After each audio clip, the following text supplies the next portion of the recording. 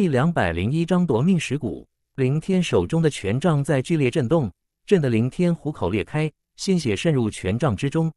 那一刻，妖异的一幕出现在众人眼中。凌天身后的虚影逐渐由虚转实，泛着点点血光，透射出阴森邪恶的面目。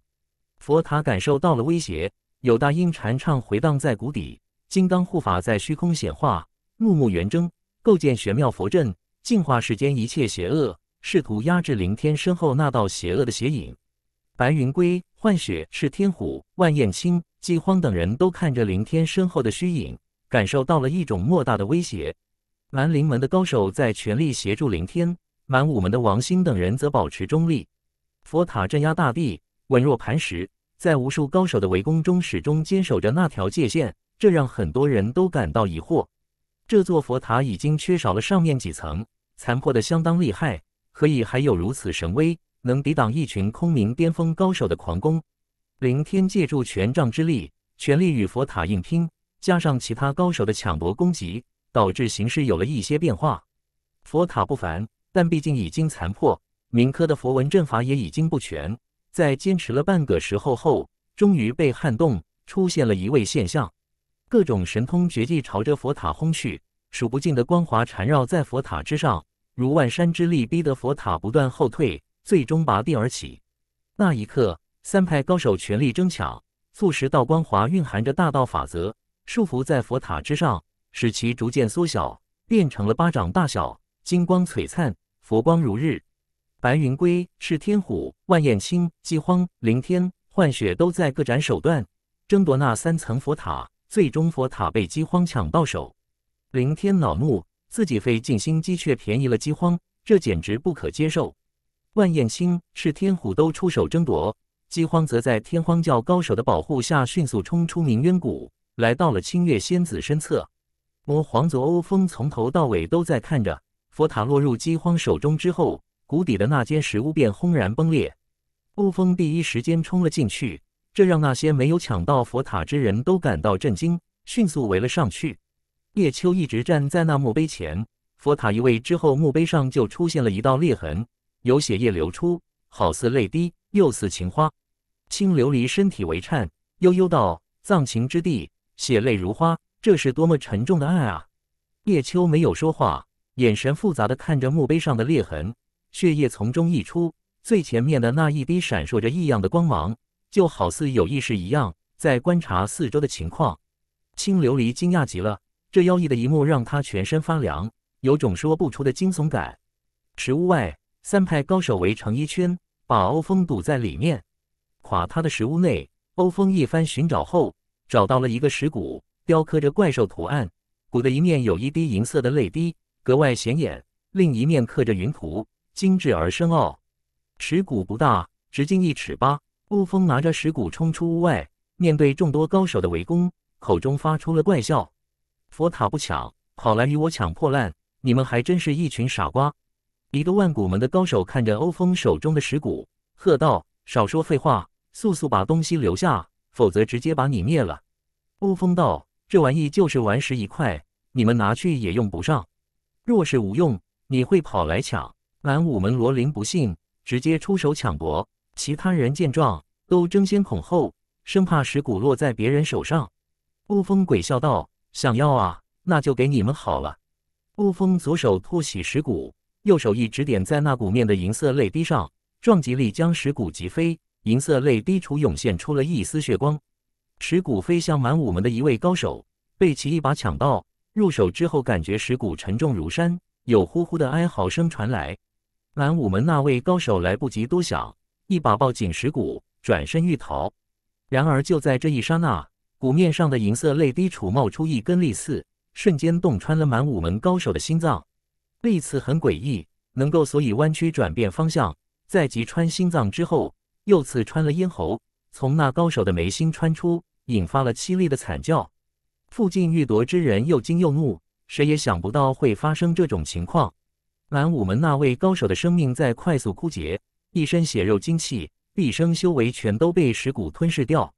啪的一声，石骨落地，有银色泪滴的那一面正好朝上，一根利刺如触手般在半空摇晃，末梢处不停的转动，就像是在打量着四周的情况。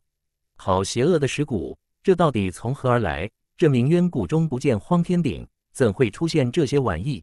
之前佛塔未曾移位前，石屋一切正常。如今佛塔被饥荒的去，这石屋垮塌，石鼓出世，难不成是佛塔的镇压失效了，才会让这邪恶的石鼓苏醒过来？大家议论纷纷，目视着那面石鼓，感觉弃之可惜，得之有害。兰陵门的高手不甘心，施展出诡异的降临术，试图降服这石鼓，谁想却遭到了反噬，差点身亡。乌风笑道：“我说了，你们拿去也无用，你们还偏不信。”凌天问道。这是何物？乌风笑道：“这叫夺命蛊，欢迎大家抢夺。”万古门万燕青道：“你觉得这话我们会相信吗？”乌风道：“不信就算了，夺命蛊就在这，感兴趣的可以出手抢夺。”赤天虎道：“这石蛊被他动了手脚，大家合力杀掉他，就能解除石蛊上的邪恶之术。”这话起到了很大的煽动效果，在场高手一涌而上，要斩杀欧风，真是一群蠢货。夺命蛊在此，你们杀得了我吗？欧风身影幻化，一道道魔影遍布谷底四周，部分魔影在挥手击鼓，石鼓发出了嗡嗡的声音，产生了刺耳的震动波，让人心跳加速，血液倒流。这是魔影千重，大家小心！赤天虎脸色有些难看，周身赤焰如刀，分斩四周，形成了一个特殊的场域，任何魔影只要靠近，就会被劈碎。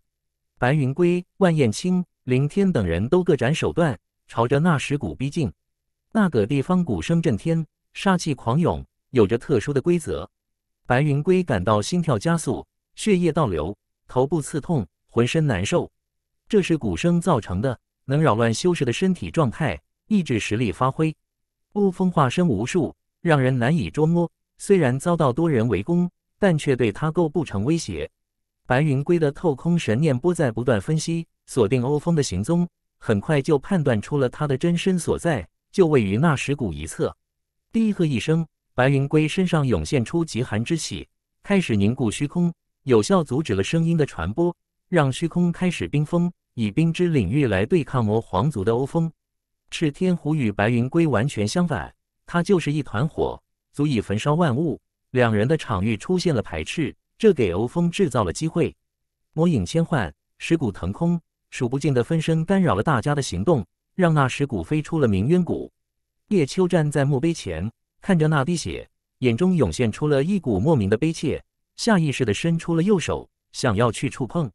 青琉璃惊呼道：“你在干什么？”叶秋不语，指尖快要触碰到那滴血时，出现了一丝迟疑，随后右手一收，改为左手。青琉璃有些紧张，不明白叶秋想干什么，更不明白他为什么会突然换手。叶秋的左手食指缓缓靠拢，那滴血在慢慢退后，似乎在回避叶秋，但仅仅退后了少许，那滴血便绽放出了诡异之光，释放出让人心神不安的惶恐。叶秋没有迟疑，左手食指触碰到了那滴血，接触点有光芒溢出，一道异样的气息笼罩在叶秋身上，让他的身体出现了颤抖。这一幕眨眼即过，叶秋恢复了平静，指尖的那滴血在缓缓后移。与叶秋的食指拉开了距离，青琉璃密切关注，发现随着那滴血的后移，露出了一截桃木色的木签。叶秋轻轻抽手，指尖之上粘连着一物，慢慢呈现在青琉璃的眼中。那是一只木簪，桃木色，凤头簪，相当的精致美观。凤头簪落在叶秋手上，墓碑上的那滴血则逐渐失去了色彩，与其他血液融在了一块。墓碑上的裂痕越来越多了。似乎随时都会碎裂，不复存在。叶秋看着手中的凤头簪，发出了一声轻叹。青琉璃低声道：“好精致的木簪，这是女人之物，怎么出现在这墓碑之内？”叶秋看了青琉璃一眼，轻声道：“此物不详，但与我有缘。下次我送姐姐一只玉簪，一定比这漂亮。”青琉璃把目光从木簪上移开，妙目凝视着叶秋的双眼，问道：“真的？”叶秋笑道。玉簪盘青丝，芳心独我怜。青琉璃眼神为变，娇嗔道：“谁问你这个？我是问这木簪，怎会不祥？”叶秋收起木簪，拉着青琉璃的小手离开。有些因果莫要沾染，有些事情莫要问穿。明渊谷中坟葬晴天，三层佛塔不见有缘。青琉璃悠悠道：“你似乎洞悉了一切，却又偏不肯明言，这是为哪般？”叶秋道：“智者常悲，不知者欢颜。我是不想让你们伤感。佛塔出世，石鼓震天，轻重卑劣，只为溯源。”第两百零二章故弄玄虚，石骨腾空，引来诸多高手的追踪。赤天虎、万燕青、凌天等人都迅速追去，白云归则回到了林若冰的身边。很快，谷中之人都冲了出去，仅剩下远古、林若冰、白云归三人在等待叶秋的归来。怎么去了那么久？远古看着叶秋走来，注意到他正牵着青琉璃的手，眼睛顿时睁得老大。林若冰脸色有些不悦，他还不太清楚叶秋与青琉璃的关系，想到双方的立场，心里顿时有种排斥感。白云归在观察林若冰的反应，嘴上却在询问叶秋。那边有何发现？叶秋松开青琉璃的小手，淡然道：“那边有座坟，葬着魏王人。”林若冰愕然道：“葬着魏王人，什么意思？”远古也觉得不可思议，嚷道：“快带我们去看看！”叶秋道：“没什么好看的，外面的故事更精彩。”白云归看了青琉璃一眼，没有多问什么。远古与林若冰则拉着叶秋问长问短。五人很快来到明渊谷外。只见万古门的高手都聚集在古烈身旁，饥荒站在清月仙子身后，幻雪静立一旁，其他天荒教高手围成一圈，将饥荒保护起来。南武门损失了一位高手，目前王星一行还有六人。南陵门那边以凌天为首，并未与满武门高手站在一块，现场势力分作五股。欧风手持石鼓傲立半空，竟没有逃走。青琉璃回到了幻雪身侧。白云归则带着叶秋、林若冰、远古与王星会合，四周不少妖兽三五成群，暗处还隐藏着很多高手，诸如魔魅族那位，诸如沈毅与明天，这些人应该就在附近，但却一直未曾露面。明渊谷中的歌声不知何时消失了，迷雾也逐渐消散，昔日的种种神秘如今真相大白，一切变得平淡。荒凉的四周依旧笼罩着一层青烟。九十九座大山之间不止一个明渊谷，还有不少类似的存在。各方势力汇聚在明渊谷外，一边对峙一边等待。佛塔在饥荒手上，尸骨被欧风抢到。明渊谷中扑朔迷离，可大多数人都无心去细想。叶秋看着群山深处，心里在思索：荒天顶那会是怎样的一种存在？这九十九座大山如此衰败，会不会就是荒天顶造成的？如果是，那是否绝地三千尺就能将它找出来？这个想法不止叶秋有，万古门的古烈也这样想，甚至天荒教的清月仙子也曾想过。只是绝地三千尺工程太大，耗时耗力，成果还不知道怎样。传说人玉九州有一件法宝，名为十方印，能搜寻锁定世间一切奇珍异宝。若能借来一用，何愁找不到荒天顶？欧风之言吸引了大家的注意力。是天虎、青琉璃、白云那龟都来自人域九州，自然听说过十方印的种种神奇。你要有本事自己去借，你当十方印是路边的大白菜，想借就借的。赤天虎冷笑，驳回了欧风之言。青琉璃道：“我听说幽域第七重的黑暗大陆上有一件魔器，同样能窥视世间一切奇珍异宝。要不你去把那魔镜借来？”白云归笑道：“那可不是魔皇族之物，只怕你面子不够。”还借不了。乌风横道：“魔镜乃是魔星族之物，从不外借。黑暗大陆除了魔镜之外，魔魅族的魔元珠也相当神奇，能感应一切元能波动。”叶秋道：“魔魅族魔元珠不好，快走！”一闪而过，叶秋朝着群山深处冲去。林若冰与远古紧随其后，王星则一脸疑问，朝着白云归问道：“怎么回事？”白云归道：“当初抢夺百兽王座时。”就有一位魔魅族的高手，那人之前我们见过，应该就藏在这附近。假如他手里有魔元珠，那么他很可能正躲在暗处搜寻荒天顶的下落。这话一出，在场高手无不大惊，纷纷跟着叶秋冲去。乌风露出了阴森的鬼笑，不急不缓地走在最后头。九十九座大山形成的区域东西横跨数百里，要想在这么大的范围内找出一个魔魅族的高手。那绝对不是件容易的事情。叶秋在推算此处的地形，直奔这一区域的中心位置。这个地方很诡异，透空神念波能感应到地面的所有波动，但却无法探测地下的情况。三派高手很快追来，分散在附近，各自留下四周的动静，却并无任何发现。欧风，你是不是在故意戏弄我们？林天思维敏捷，第一个想到这个问题。欧风笑道：“我干嘛要戏弄你们？那对我有什么好处？大家都是冲着荒天鼎而来，不管最后荒天鼎落在谁人手里，至少大家都想把它找出来。”万燕轻哼道：“说的好听。”你一个邪魔外道之言，谁会相信？欧风反驳道：“既然不相信，干嘛还要问我？你猪脑子啊！”万燕轻怒道：“你找死！”欧风挑衅道：“就凭你还没那个本事？”古烈看着欧风，眼神闪烁不息，似乎觉察到了什么事情，饥荒道：“假如欧风骗了我们，那他有何目的？”赤天虎道：“他把我们骗到这来，最多是分散我们的注意力，或是调虎离山。”叶秋闻言恍悟道：“不好，快回明渊谷！”白云归、青琉璃、凌天、古烈、清月仙子等高手都反应过来，直接空间跳跃，一下子就出现在明渊谷的入口处。一道璀璨的光柱从谷底冲天而起，释放出破灭万物之力。附近的空明境界高手一个个倒飞出去，口中鲜血淋漓，伤得不轻。叶秋的透空神念波第一时间捕捉到了危险。拉着林若冰与远古急速撤退，白云归、青琉璃、凌天、万燕青都第一时间觉察到了不妙，避开了那股毁灭的冲击波。清月仙子护住幻雪与饥荒，古烈则护住赤天虎与部分万古门高手。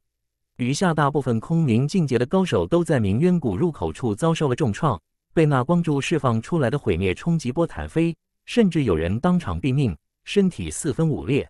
那光柱直径百丈。骇人至极！一道黑影从光柱中斜飞出去，口中发出了怒笑声。叶秋一眼就认识，黑影就是魔魅族的那位高手，拥有万兽境界的恐怖势力。但他却似乎在冥渊谷中吃了大亏。之前，欧风将众人骗离此地，给了魔魅族高手可乘之机。只是让欧风不曾想到的是，冥渊谷中除了佛塔与石鼓外，竟然还有其他东西，连魔魅族的高手都被轰了出去。那道光柱历久不衰，形成了一个可怕的区域，空明境界的高手根本不敢靠近，也无法靠近。那种规则之力很恐怖，稍有不慎就必死无疑。古烈与清月仙子脸色大变，双双凝视着那道光柱，感受到一种前所未有的威慑。青琉璃站在远处，透空神念不仔细探索那光柱的情况，发现内部有光阴腐蚀之力，连意识神念都承受不起。这光柱应该与荒天鼎有关系。冥渊谷果然隐藏着有关荒天鼎的信息和线索。灵天是灵神传承者，拥有许多不为人知的能力。他的这番话虽然只是猜测，但却很有煽动性。万燕青道：“就算如此，进不去也是白费。”饥荒看着不远处的欧风，为怒道：“你竟然与魔魅族的高手串通起来欺骗我们！”欧风冷冷道：“你有什么证据证明我与他串通了？”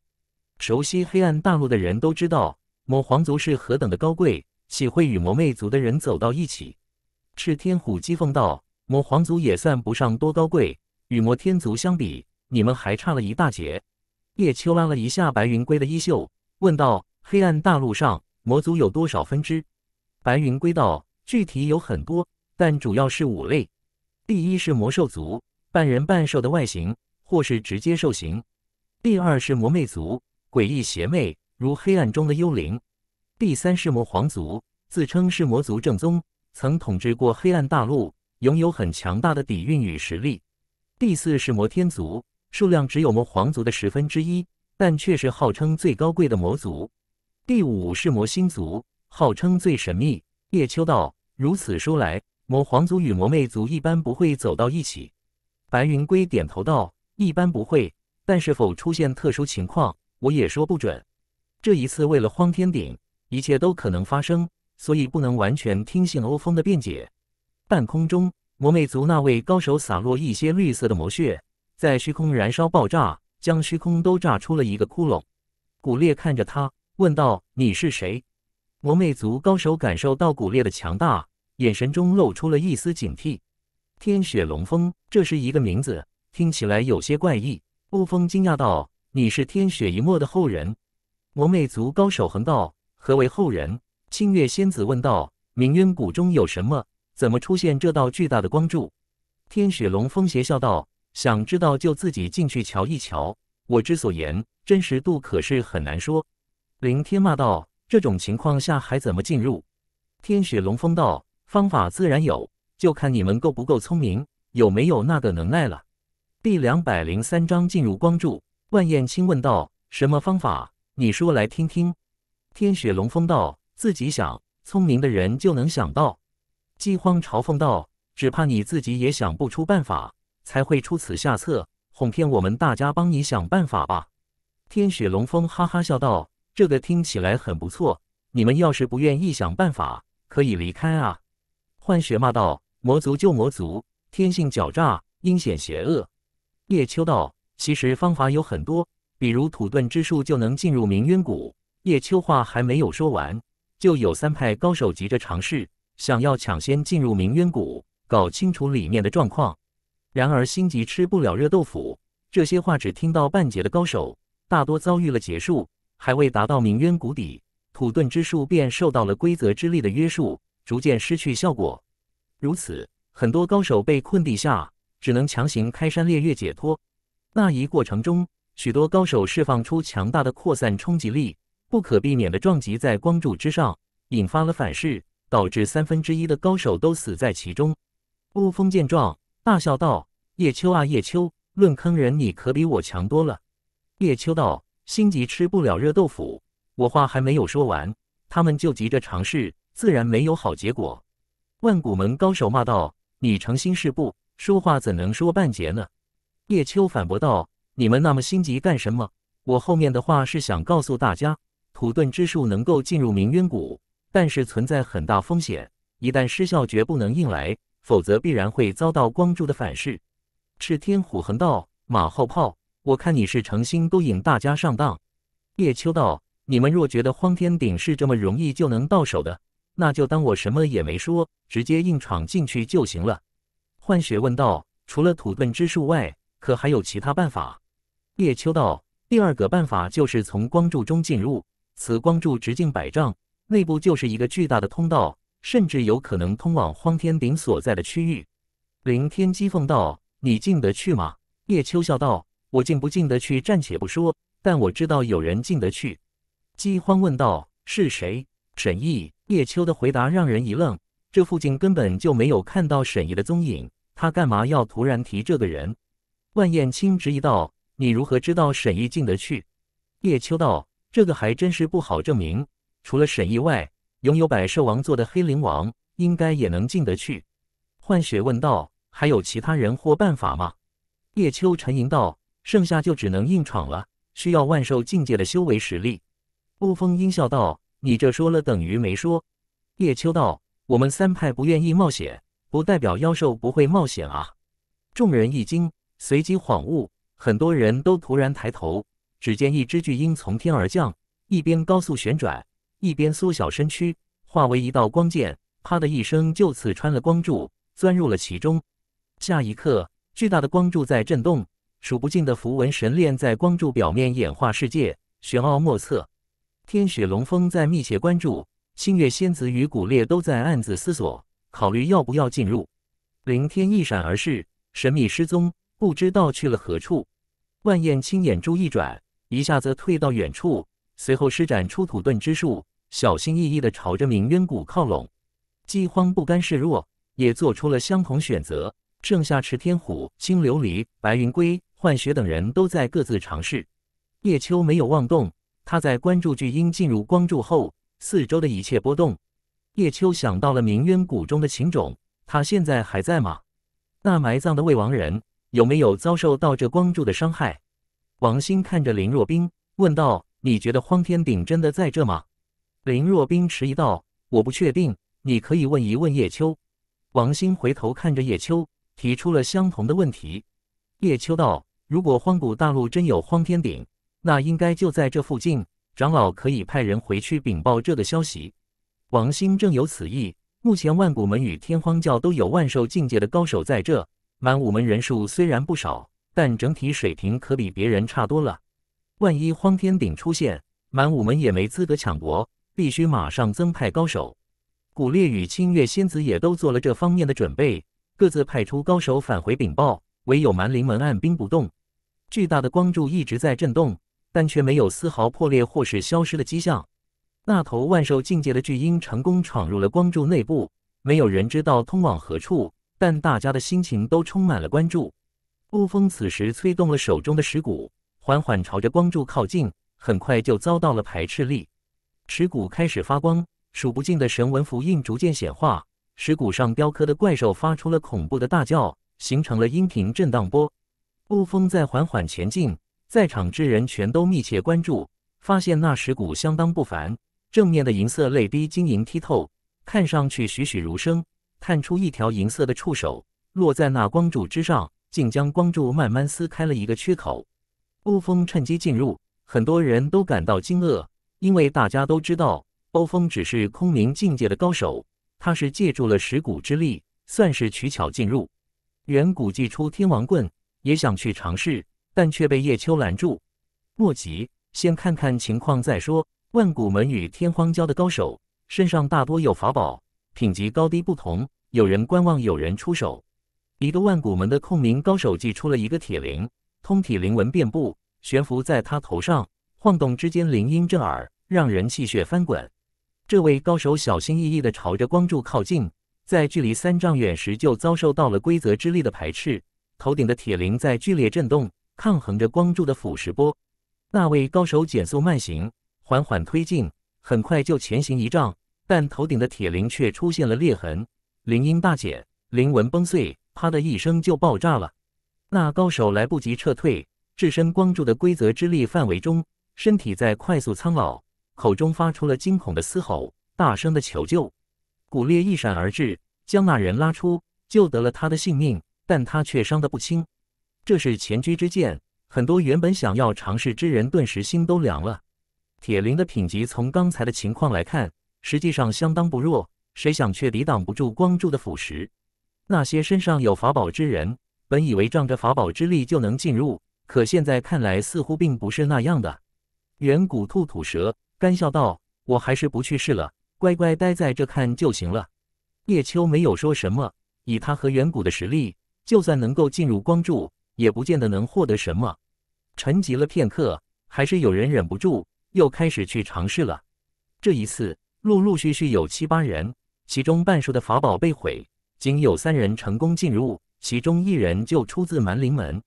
林若冰道：“要不我们也去试试？”叶秋道：“等会再说，这种事情不能急。”古烈与清月仙子始终不曾出手，但是天雪龙峰在观望了许久后，最终还是采取了硬闯的方式冲入了光柱之中。蛮武门一直没人进入，蛮灵门的灵天不知去处，余下高手之中有一人进入。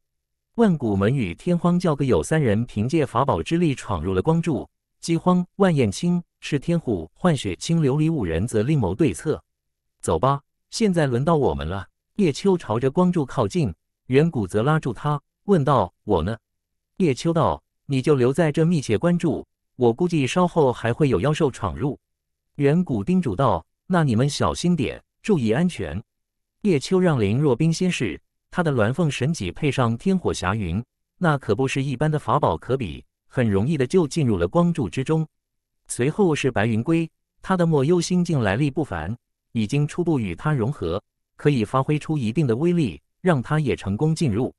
叶秋祭出方天星盘，这是天石一族的至宝，绽放出璀璨的星光，在光柱上开了一道门户，直接把叶秋吸进去了。王兴看到这，心中感慨万千。叶秋虽然境界不高，可他却比很多空明境界的高手还要能耐许多。附近妖兽的数量越来越多，几头万兽境界的妖兽先后闯入，也有一些空明境界的妖兽借助宝物之力，成功穿越了光柱屏障，进入了其中。叶秋进入光柱之后，方天星盘悬浮在他头上，通体符文闪耀，受到了光阴之力的腐蚀，身体在快速下坠。叶秋低头看着脚下。那是深不见底的深渊，不知道通往何处。白云龟、林若冰都在叶秋下面，他们试图减速慢行，等待叶秋。谁想身体却不受掌控，这垂直的光柱就像是时光隧道一般，有去无回，不可停留。但凡进入其中，不管是人类还是妖兽，不管是万兽境界还是空明境界，都在一直往下坠。突然，叶秋感受到了一股震动，下一秒，眼前的景色就变了。白云归与林若冰不知所踪，三人竟然被分开了。叶秋置身在一个广阔的空间内部，两旁都是白雾，唯有前方有一条通道，隐隐透射出光芒。叶秋催动透空神念波，结合媚眼心意，仔细探索四周的动静，发现意识神念只要一离体就会瞬间瓦解，遭受到了一种莫名的限制。第两百零四章站台出胜。叶秋没有强求，知道这里有规则之力的束缚，便小心翼翼地往前走。叶秋顺着那通道前行了一炷香的功夫，前方出现了一个五光十色的大洞，一座悬浮的站台被光雾包裹，四周许多符文演变而成的字体吸引了叶秋的关注。来到站台外，叶秋注视着那些字迹，这儿记载了有关站台的情况以及一些隐秘。这是同级站台，有着特殊限制，超越修为境界的一切兵器法宝都无法在站台上发挥应有的威力。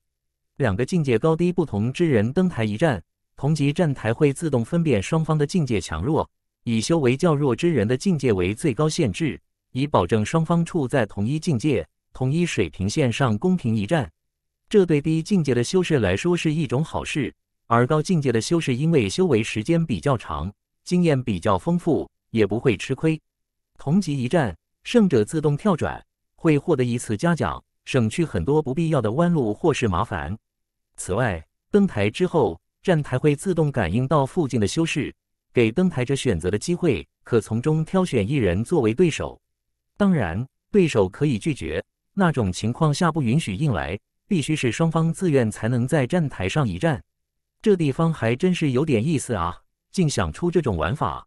叶秋一跃登台，只见站台四四方方，直径十丈，拥有折叠伸缩的空间特性，可满足各个境界的修士比赛。叶秋在站台上走了一圈，一些身影便浮现出来。那些都是附近的修士，一共有四人：两个万古门高手，一个天荒教高手，另一位则出自蛮灵门。这些全都是空明境界的强者，借助法宝之力进入光柱，出现在了附近区域。叶秋朝着那蛮灵门高手一点，那人便突然出现在站台之上。叶秋，是你？这是怎么回事？叶秋指了指站台四周的符文字迹。让他自己看，并询问他的名字，朱成玉。这上面说，只要获胜就能自动跳转，顺利前进，减少许多不必要的弯路、麻烦与考验，是最快抵达核心区域的方法。朱成玉看上去五旬开外，但叶秋知道他至少已经修炼了数百年。获胜者之人可以快速前进，但落败之人则需要接受考验。叶秋随口提醒，两人毕竟同属蛮神宗。又没有直接恩怨，面子上不能太难看。朱成玉笑道：“如此甚好，我直接打败你，就能进入下一关。”叶秋道：“这样说来，你接受挑战？”朱成玉道：“这种好事我当然接受了，即便是同境界一战，我也有必胜的把握。”叶秋笑了笑，体内运转的灵气突然加速，修为境界在不断攀升。站台开始检测，最终的结果显示，叶秋处在玄灵五重境界之上。对面朱成玉的修为境界在快速下降，受到了站台的约束，也到了玄灵五重巅峰境界。交手之前，你有什么想说的话？叶秋很平静。朱成玉在适应了一下新境界后，脸上露出了一丝冷笑。叶秋，你知道林天想杀你，却还愚蠢的找我挑战，你真的是活腻了。叶秋笑道：“你知道林天为什么要杀我吗？”朱成玉一愣，这个问题他还真不知道。为什么？叶秋道：“因为我知道灵天的秘密。他在灵神塔的第五层拜邪恶的灵神为师，想要颠覆蛮神宗，重新一统蛮灵门与蛮武门。”朱成玉骂道：“你胡说！”叶秋不置可否，继续道：“当年蛮武天神将灵神塔从蛮灵门移到城中，并镇压在那，就是因为灵神很邪恶。这么多年来，只有两人登上灵神塔的第五层，一个是灵天，另一个就是我。”朱成玉惊呼道：“你曾登上灵神塔第五层，这怎么可能？”叶秋道：“我若没有登上第五层，又怎么知晓灵天的秘密？灵神想让我拜在他脚下，学灵天一样受他驱使，可惜我拒绝了。所以灵天想杀我，他想成为灵神唯一的传承者，希望如同昔年他的先祖灵圣一般，打破满武天神一手创立的蛮神宗。他要亲手创立属于他自己的蛮灵宗。朱成玉愣住了，好一会才惊醒过来。就算你说的都是真的，我们也支持他。蛮神宗的存在对于蛮灵门的很多人而言，那就是一种耻辱。我们必须将其推翻。唯有蛮灵门创立的蛮神宗，那才是我们认可并想要的。叶秋笑道：“如此，你是一心要协助凌天把我杀掉了？”朱成玉哼道：“这还用问吗？开始吧。”叶秋道：“四周的文字记载，战斗模式一开始，我们之间的交战就会出现在所有人眼中，包括冥渊谷外的三派高手与妖兽。”朱成玉道：“我知道，所以我们的交谈到此结束，看招吧！”一步跨出，朱成玉周身灵纹闪耀，形成一个巨灵阵，开始吞纳站台四周的游离能源。叶秋笑而不言，神色平淡，身上有灵图显化，那是一座座大山。巍峨威严，两人的身影被投射到了各个地方。这一神秘区域内的其他高手都在第一时间觉察并关注这一战。冥渊谷外，三派高手从那巨大的光柱表面上看到了叶秋与朱成玉的身影。很多人都觉得奇怪：蓝神宗门下怎么自己干起来了？这是窝里反吗？天荒教的高手在调侃，讽刺意味明显。万古门有高手笑道：“人家这叫切磋。”肥水不流外人田，不管是谁赢了，都将获得一次前进的机会，那可比落在别人手里强。其实万古门与天荒教都知道，满武门与蛮灵门一向不和，叶秋与朱成玉之战多半也是生死争斗，互不相容。好在光柱表面上显示出了同级站台的比赛规则，这让满武门的王兴、远古、罗林等人稍稍心安。叶秋加油，干翻他！远古大叫。他知道叶秋的战斗力，故意刺激蛮灵门高手。鬼叫什么？同境界较量，经验最为重要。叶秋输定了。蛮灵门有高手反驳，对同伴充满了希望。远古叫嚣道：“经验有屁用！稍后看叶秋怎么收拾他。”站台之上，叶秋与朱成玉之间的交战开始了。作为蛮灵门的高手，朱成玉原本拥有空明六重境界的实力，高出叶秋太多了。虽然经济被压制。但高手的眼力、心智、经验都完全保留，配合蛮灵门那千奇百怪的灵术，一般来说是稳赢不输的。叶秋明白双方之间的情况，采用了防守的策略，因为这一战附近的所有人都能看见。叶秋不想过分暴露自身的秘密，所以时间拖长一点比较好。朱成玉脚下灵文化阵具有束缚、牵引之力，让叶秋受到了很大限制。叶秋施展出搬山诀。将自己镇压在那，纹风不动，丝毫不受影响。朱成玉显然了解叶秋的一些情况，知道他会搬山诀，在叶秋不动时突然展开快攻，如猎豹般敏捷，指尖符文绽放，化作利剑与刀锋，锁定叶秋全身要害。叶秋陷入了被动的局面，但他并不慌乱，身上的灵土起到了很好的防御效果。朱成玉的攻击落在他身上，瞬间就被反弹开。很难对他造成伤害，看不出你还有点能耐啊！接我这招符灵术。朱成玉身上突然飞出一根根藤条，缠绕在叶秋身上，迅速将他捆绑起来。冥渊谷外，蛮灵门的高手看到这，全都露出了微笑。蛮武门除远谷外，其他几人都略显担忧。古烈与清月仙子都在仔细观战，他们多少有些威武。叶秋担心，不希望他落败，更不希望他受到伤害。叶秋没有挣扎，静静地看着朱成玉，问道：“接下来又该怎么办了？”朱成玉道：“接下来就是取你性命了。”朱成玉二指一并，如同利剑，直刺叶秋心脏，要将他斩杀。叶秋此时无法动弹，也没有动弹，他只是看着朱成玉，左眼之中利剑倒悬，灵犀星剑无声而来，直接将朱成玉的尸海击穿。下一刹那，叶秋震断了身上的藤条。左手又补了一下，手指洞穿朱成玉的眉心，以掩饰他的灵犀星剑。冥渊谷外，所有人都被这突如其来的变故惊呆了，看着画面上朱成玉一脸愕然，死不瞑目的瞪大双眼。显然，叶秋的致命一击出人意外。有一种获胜叫冒险，有一种成功叫计算。叶秋的调侃透着几分嘲笑。朱成玉未出一言，便仰面栽倒，当场死亡。叶秋搜查了一下朱成玉的尸体，从他怀中找到了一片扇贝，上面有一道十分深奥的符印。之前朱成玉就是凭借这片扇贝进入了光柱之中。战斗结束，画面消失。对于这样的结果，远古是大笑不止。白云龟、林若冰、幻雪清、琉璃也都同处那个神秘区域，全都看见。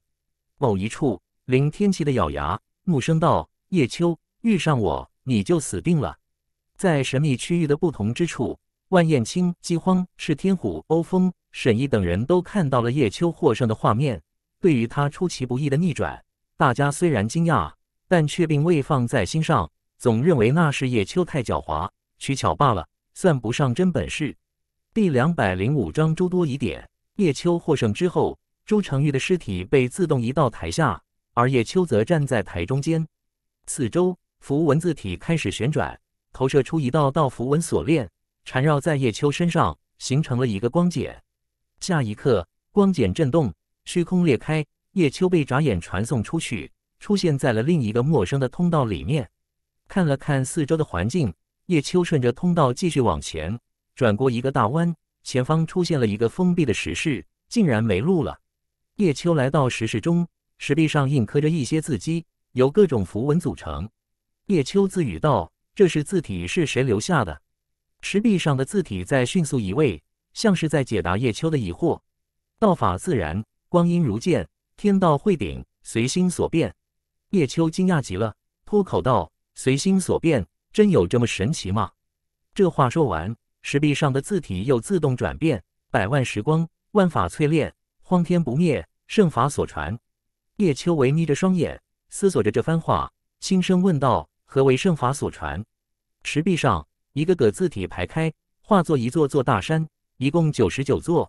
这让叶秋有种莫名的熟悉感，却又一时想不起来。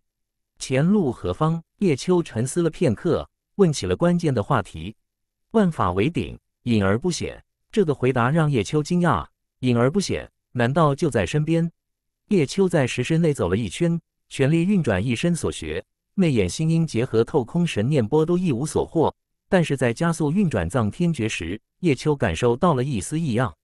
奇怪，怎么在这石室内修炼藏天诀，感觉与别人不大一样？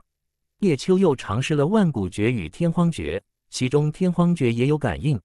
叶秋静下心来，抛开一切杂念，就在这石室内专心修炼，整个人很快进入了空灵状态。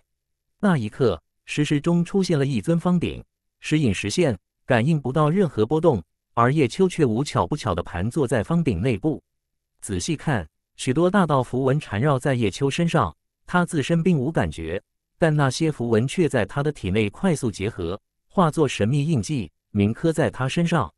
这一幕持续了半个时辰，方鼎变得越来越淡，最终完全消失。而叶秋也正好醒来，石壁上的字迹消失不见，出现了一道门户，通往另一边。叶秋疑惑地看了看四周，没有发现任何异常，这才走入那道门户，穿过一条狭长的隧道，来到了一个大洞中。那里又有一座站台。这个大洞有两条通道，叶秋走的就是其中一条。另一条通道上，一头妖兽正迅速靠近，很快就与叶秋遇上。那是一头空明境界的妖兽，实力异常强大，释放出强大的震慑力，直接朝着叶秋冲来。叶秋一跃而起。落在了站台之上，妖兽想也不想便追了上来，想要把叶秋吃掉。叶秋闪身避让，站台出现了自动检测的情况，立马确定了叶秋的修为境界，使得妖兽的境界急剧下降。为什么这样？妖兽咆哮，感到惊慌。叶秋笑道：“这是同级站台，你想与我动手，就只能同境界比较。”妖兽明白之后，怒道：“同境界，我一样能杀了你。”这是一头虎狼兽。是虎妖与狼妖结合后产下的异变兽，既有猛虎的霸道，又有狼族的狡诈。妖兽的修为方式与人类不同，一般是修炼天赋神通，具有鲜明的特色。叶秋施展出搬山诀，双方激战的画面又一次出现在众人眼前。不管是谷外，还是同属叶秋所在的神秘区域，大家都能看到。虎狼兽体型巨大，狼爪锋利，凶猛无比，动作敏捷。一上来就取得了压倒性的优势。叶秋施展出九焰刀，结合落花残红刀法，阴柔诡异的招式正好与虎狼兽的刚猛绝伦相克，双方以快打快，在站台之上纵跳飞跃。看到交战画面之人都在密切关注这一战。此前叶秋是取巧击杀了朱成玉，这一次换了一个皮厚高大的对手，叶秋又能否获胜呢？白云归、林若冰、幻雪、远古、青琉璃等人都对叶秋充满了信心。沈毅、凌天、万叶年、饥荒、是天虎、欧风等人则巴不得叶秋死去。同境界中，妖兽在战斗力方面有着天生的优势，他们肉身强大，无论是破坏力还是防击打能力，都比天生体弱的人类强上很多倍。叶秋的落花残红刀法很凌厉，簇次在虎狼兽身上留下伤口，痛得他狂吼大叫，但却很难一击毙命。叶秋心中有悲，心湖有泪。落花残红刀法在他手中浑然天成，几近完美。然而这套刀法很诡异，总是在平凡中创造传奇。叶秋心中的悲痛越深，刀法的威力就越强。而进入这一状态后的叶秋，心湖有泪，让他常思伤悲，保持着一种持续增长的过程。落花残红，情深不寿。叶秋心中涌现出一个朦胧的身影，看不太真切，但却透着莫名的幽怨与凄美。虎狼兽狂吼怒叫，越战越精。他之前还能与叶秋硬拼几下，如今已沾不到叶秋的身，变成了挨打的对象，身上的伤口越来越多，越来越深。狡诈的虎妖兽意识到了情况不对劲，竟直接冲下站台，选择了放弃认输，修为实力瞬间便恢复了。叶秋有些无语，本打算斩杀这头妖兽，谁曾想他竟然跑了。叶秋又一次获胜。落花残红刀法已成为了他的成名绝技。虎狼兽在台下怒视着叶秋，想等他下来后将他吃掉。叶秋自然不会上当，他就站在台上，任由四周的字体符文缠绕在身上，开启了第二次的空间跳跃，又一次出现在了陌生的隧道中。叶秋还是谨慎的看了看四周，随后沿着隧道前进。不多时，叶秋又来到了一间石室，情况与前一次有所差别。眼前的石室比之前那一间大了一倍有余，四壁之上没有字体，取而代之的是一些符文印记。叶秋认真观察每一个符文印记，将它们完全牢记，随后开始自言自语：“这些符印代表着什么意思？”石壁上的符印开始移动方位，组成了一些图案，这可有点伤脑筋。叶秋静心思索，似懂非懂，不时询问一些问题，然后进行对比参照。逐渐从中领悟了一些东西。这一过程中，石室内突然出现战斗画面，那是林若冰与万古门的一位空明境界高手在激战。因为是同境界比试，万古门的高手并不占据优势。林若冰的三皇诀配合鸾凤神戟，爆发出了惊人的神威，击败了对手的长青如玉，获得了一次胜利。叶秋对这结果很是满意。师姐林若冰虽然境界不算太高。可是同境界中还是有力压同辈的实力。之后是一片宁静，叶秋在专心领悟，将一身所学从头到尾都修炼了一遍，整个人进入了空灵状态。石室中，一尊更大的方鼎若隐若现，叶秋就置身在方鼎中修炼，可他却并不自知。方鼎内部万道齐聚，数不尽的大道法则与天道之力加诸在叶秋身上，与他身体之间产生了融合。但是叶秋的潜意识里却丝毫未觉，为什么会这样？叶秋并不知道那方鼎是什么，他也一无所知。甚至到最后，方鼎会逐渐淡化消失，这其中的缘由也让人费解。叶秋不知道修炼了多久，醒来时就见石壁上多了一个门户，情况与之前相似。叶秋没有多想，进入门户之中，不一会前方出现了三岔路口，需要他做出选择：左边还是右边？这其实不好选择。叶秋考虑了好一会，才顺着左边的隧道前进。大约前行了三百丈左右，前方传来耀眼的亮光，露出了一个洞口。叶秋一闪而至，来到了洞口外，里面金碧辉煌，竟堆满了数不尽的金矿石。金子，叶秋感到意外。这玩意对于寻常百姓而言，或许是一大笔财富，可对于修士来说，金钱都不过是粪土。叶秋走入洞内。看着堆积如山的金矿石，随后拾起一枚，发现上面有着天然的纹路，质地很坚硬。叶秋取了几个金矿石，发现每一块的符文都不尽相同，这让他隐约捕捉到一丝灵光。开启神界，叶秋将这些金矿石收入其中，一共十二万九千六百枚，一块不多，一块不少，这更加肯定了叶秋心中的猜测。洞中没了金矿石，光线一下子就暗淡下来。叶秋转了几圈，仔细搜寻了几遍，在洞顶发现了一枚玉石，豌豆大小，晶莹如玉，内部有氤氲之气在翻滚。叶秋凝视着玉石，媚眼星鹰感受到了异样的波动，透空神念波也捕捉到了玉石内部的信息。一元金光阵，灭魔佑图神。玉石之中记载了一套阵法，需要由十二万九千六百块金矿石构建而成，极其的复杂与繁奥，但却威力绝伦。叶秋斗取了一元金光阵的内容后，那玉石便自动破碎，耗费了一炷香的时间，叶秋才慢慢消化，而心中却产生了更多的疑问：这玉石是谁留下的？为何上面记载了一元金光阵？那难道也是岁月累积，道法自成？那十二万九千六百块金矿石也来的蹊跷，是怎么收集而来？是荒古大陆的神奇伟力，还是某位高手的手笔？第两百零六章千兽古鼎。叶秋沉思，不得其解，随后便离开了那里。回到三岔路口，叶秋往右走，通道的地面上浮现出一道道白骨符文，看上去诡异极了。叶秋心神绷紧，有种异样的感触：这些白骨符文看上去都不是人骨。而是各式各样的兽骨，缘何会出现在这隧道之中？难道这是一条死亡之路，由白骨堆成，通往绝境之中？那些古符并不复杂，也说不上深奥，但却透着一股森寒的味道。叶秋踏着白骨之路往前走，大约前行数千步，来到了一个由白骨构建而成的大洞中。那人堆积着一些巨大的骨头，看上去就像是坟墓。这是古坟吗？叶秋惊悚。目光环顾四周，在那古坟不远处，一些白骨堆积在一起，构成了一座祭坛，阴森而恐怖。这个地方没有同级站台，与叶秋想象中不同。眼前的景象让人惶恐，却又搞不懂。叶秋缓缓前移，朝着那古坟靠近，体内的万寿天塔出现了轻微震动，昔日服用的各种妖丹在体内迅速分解，变得异常活跃。叶秋看着古坟，感觉里面似乎葬着什么。那座祭坛也很古怪，与荒塔顶的传说有些格格不入。传说中，荒塔顶历时百万年才孕育而成。这百万年的时光里，这片区域到底发生过什么？有多少生灵牵扯其中？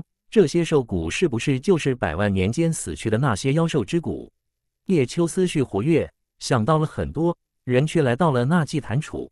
堆积的兽骨看似杂乱无章，却又透着几分规律。叶秋绕着祭坛走了几圈，不时停下脚步，陷入了思索。半晌，叶秋扭头看着古坟，催动体内的万寿天塔，一株古树从叶秋内部显化出来，与祭坛、古坟之间产生了共鸣，引发了石室的震动。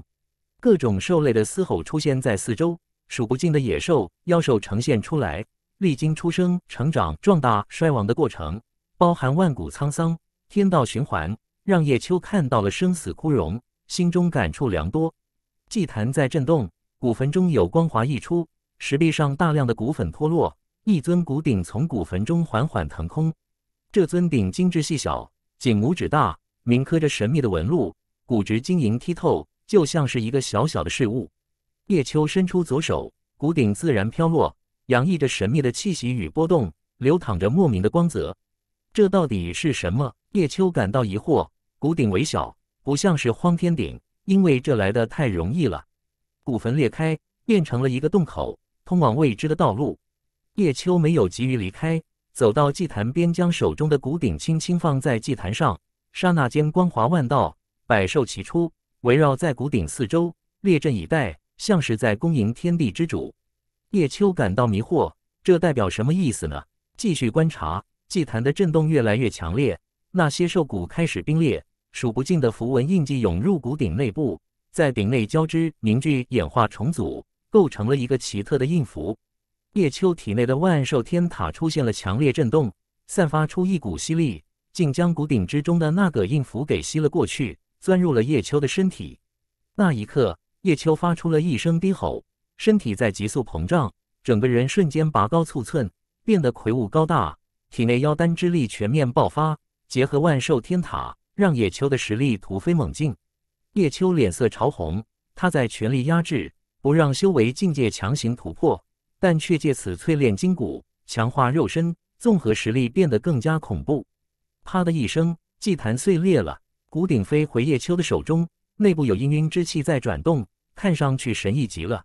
这到底是什么？叶秋不认得，开始沟通黑玉花，想获取他的知识信息，看他认识不。叶秋如今的修为境界在不断增长，依照这种情况发展。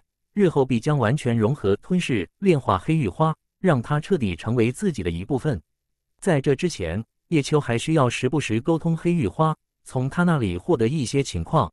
这是千兽伏元鼎，能够从兽骨、兽骨、兽魂之中提炼妖兽的天赋神通。你有万兽天塔在身，此鼎对你日后进入万兽血池有莫大好处。三者融合，可让你在这一领域成就无上巅峰。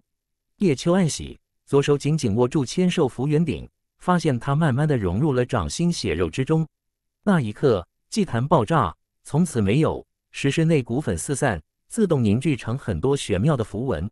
叶秋心无执着，平静的看着，能记下多少是多少，并未强求什么。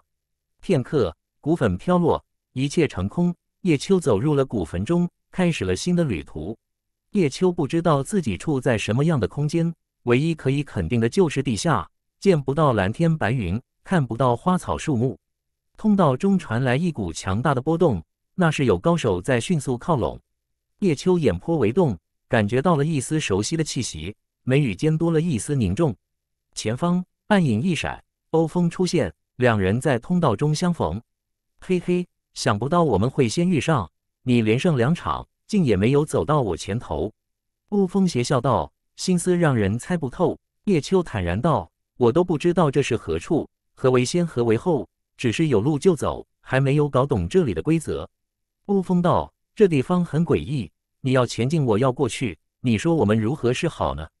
叶秋想了想，笑道：“擦肩而过，似曾相逢。”欧风笑道：“好一句似曾相逢。”叶秋，我突然发现有点喜欢你了。叶秋道：“每个人都有优点。”总会在某些时刻讨人喜欢的。欧风大笑道：“说得好，希望下次相逢你还依旧如故。”一闪而过，欧风就这样走了。叶秋没有回头，不急不缓地朝前走去，穿过隧道来了一个大洞中。那人有很多岔道，分别通往不同之处。呼呼地风声带来了一丝凉意，各种声音在此汇聚，让叶秋的六识变得敏锐了很多。突然，一丝危机感涌上心头。那是修士的直觉。叶秋一闪而过，选了一条通道，快速往前冲。后方一丝若隐若现的杀气锁定着叶秋，任他如何加速，始终无法摆脱。冲出通道，前方是一个宽敞的石室，没有看到出路，但却很适合战斗。叶秋心思急转，媚眼星鹰观察着此处，觉察到了一丝异样，但短时间内可能无法悟透。回身，叶秋看着追来之人。脸上露出了一丝笑容，心情却有些沉重。我们终于还是遇上了。万燕青小得有些冷酷，这里没有同级站台，不会有人知晓双方的战斗。叶秋是玄灵五重境界，而万燕青已经步入空明七重，双方实力悬殊。这种情况下，要杀掉叶秋那是很容易的。是啊，终于遇上了。听说在来这之前，你曾在一座寸草不生的大山上得到了一件奇珍。叶秋很平静，就像是老朋友在闲聊。万燕青冷笑道：“你觉得这个问题我会回答你吗？”叶秋笑道：“你不回答是因为在你的潜意识里觉得没有十足的把握杀我，所以怕我泄露出去，是不？”万燕青被叶秋说中了心事，急忙否认道：“胡言乱语，我这叫谨慎。你以为这种情况下我会杀不了你吗？”叶秋嘲讽道：“对一个必死之人这般谨慎。”你是在害怕吗？万燕青怒道：“我会怕你。”叶秋挑衅道：“不怕，那你就回答我啊！”万燕青哼道：“你知道了我的秘密后，只会死得更快的。”叶秋默然道：“你不正希望我早点死吗？”万燕青怒道：“你既然诚心求死，我就成全你。来此之前，我确实得到了一件奇宝，那是一件奇兵滴血夺魂钩。”叶秋讥讽道：“名字不怎么样嘛，估计威力也很弱。”万燕青怒笑道：“威力弱，你真是蠢货！那可是旷世奇兵，威力无穷，煞气惊天，锐气屠龙。”叶秋不屑道：“没听过。万燕青哼道：“这是来自幽域第三重蓝血大陆的神兵，你自然没有听说过。”叶秋道：“没听过，可以见识一下啊！你不会驾驭不了吧？”万燕青冷傲道：“杀你，我一只手就足够，何必动用滴血夺魂钩？”叶秋道：“我记得我们之间以往并无深仇大恨。”万燕青道：“确实没有深仇大恨，可是第一眼见到你的时候，我就从你身上觉察到了强烈的危机感。”那是修士的直觉，那一刻我就知道，此生绝不能让你活着，否则就会对我构成威胁。我要将所有不确定的因素全都抹杀在摇篮中。叶秋竖起拇指，赞道：“枭雄本色，心狠手辣，果决从容。”万燕青道：“你也不错，境界虽然不高，却混出了一点名声，让白云龟都对你如此在乎。”叶秋笑道：“你这是夸奖我，还是嫉妒我？”万燕青傲然道。对一个死人，我用得着嫉妒吗？叶秋道：“我不还站在这里吗？”万燕青大笑道：“那是因为我还想让你多活片刻，想看到你惊恐不安、跪地求饶的下场。”叶秋没有生气，反而笑道：“原来你对我的期待还蛮多啊，只是这些期待恐怕会让你失望了。”第两百零七章两败俱伤。万燕青自傲道：“我从不做没有把握的事情，若是在外面想杀你，确实不易。”但是在这里没有人能救得了你。叶秋语气一冷，哼道：“若是有同级站台，恐怕你就不敢这样说了。”万燕青道：“激将法对我无用，就算你在玄灵五重境界上力压同辈，但对于我来说，你始终只是一个蝼蚁，没有机会成长下去。”叶秋看着四周，突然道：“这里很大，很适合动手，你觉得呢？”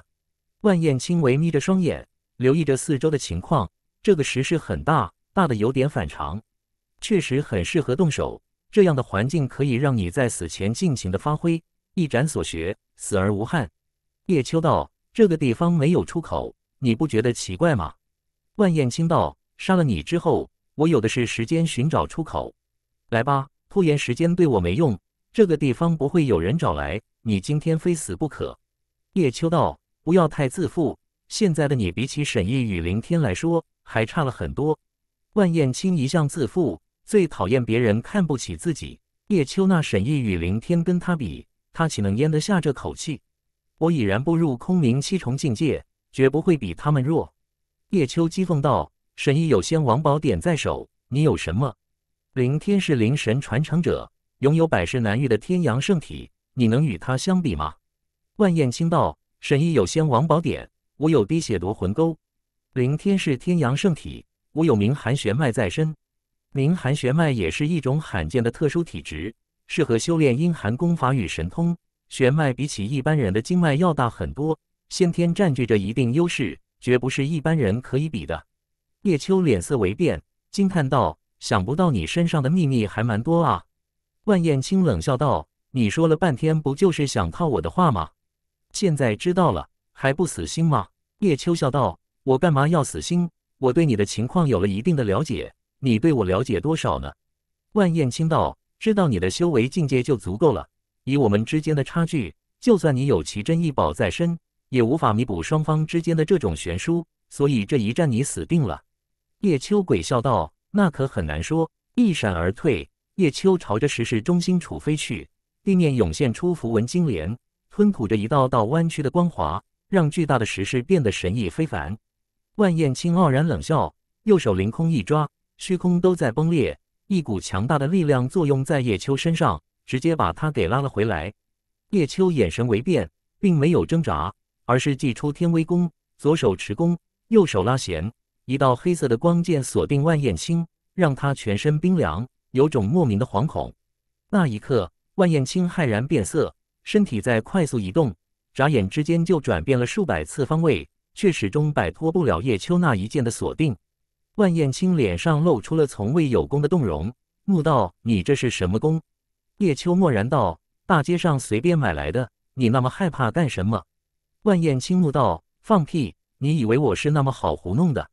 一股血煞之气迷茫四周，一把滴血的弯钩出现在了万燕青的手中，散发出恐怖的波动，仿佛要毁灭整个苍穹。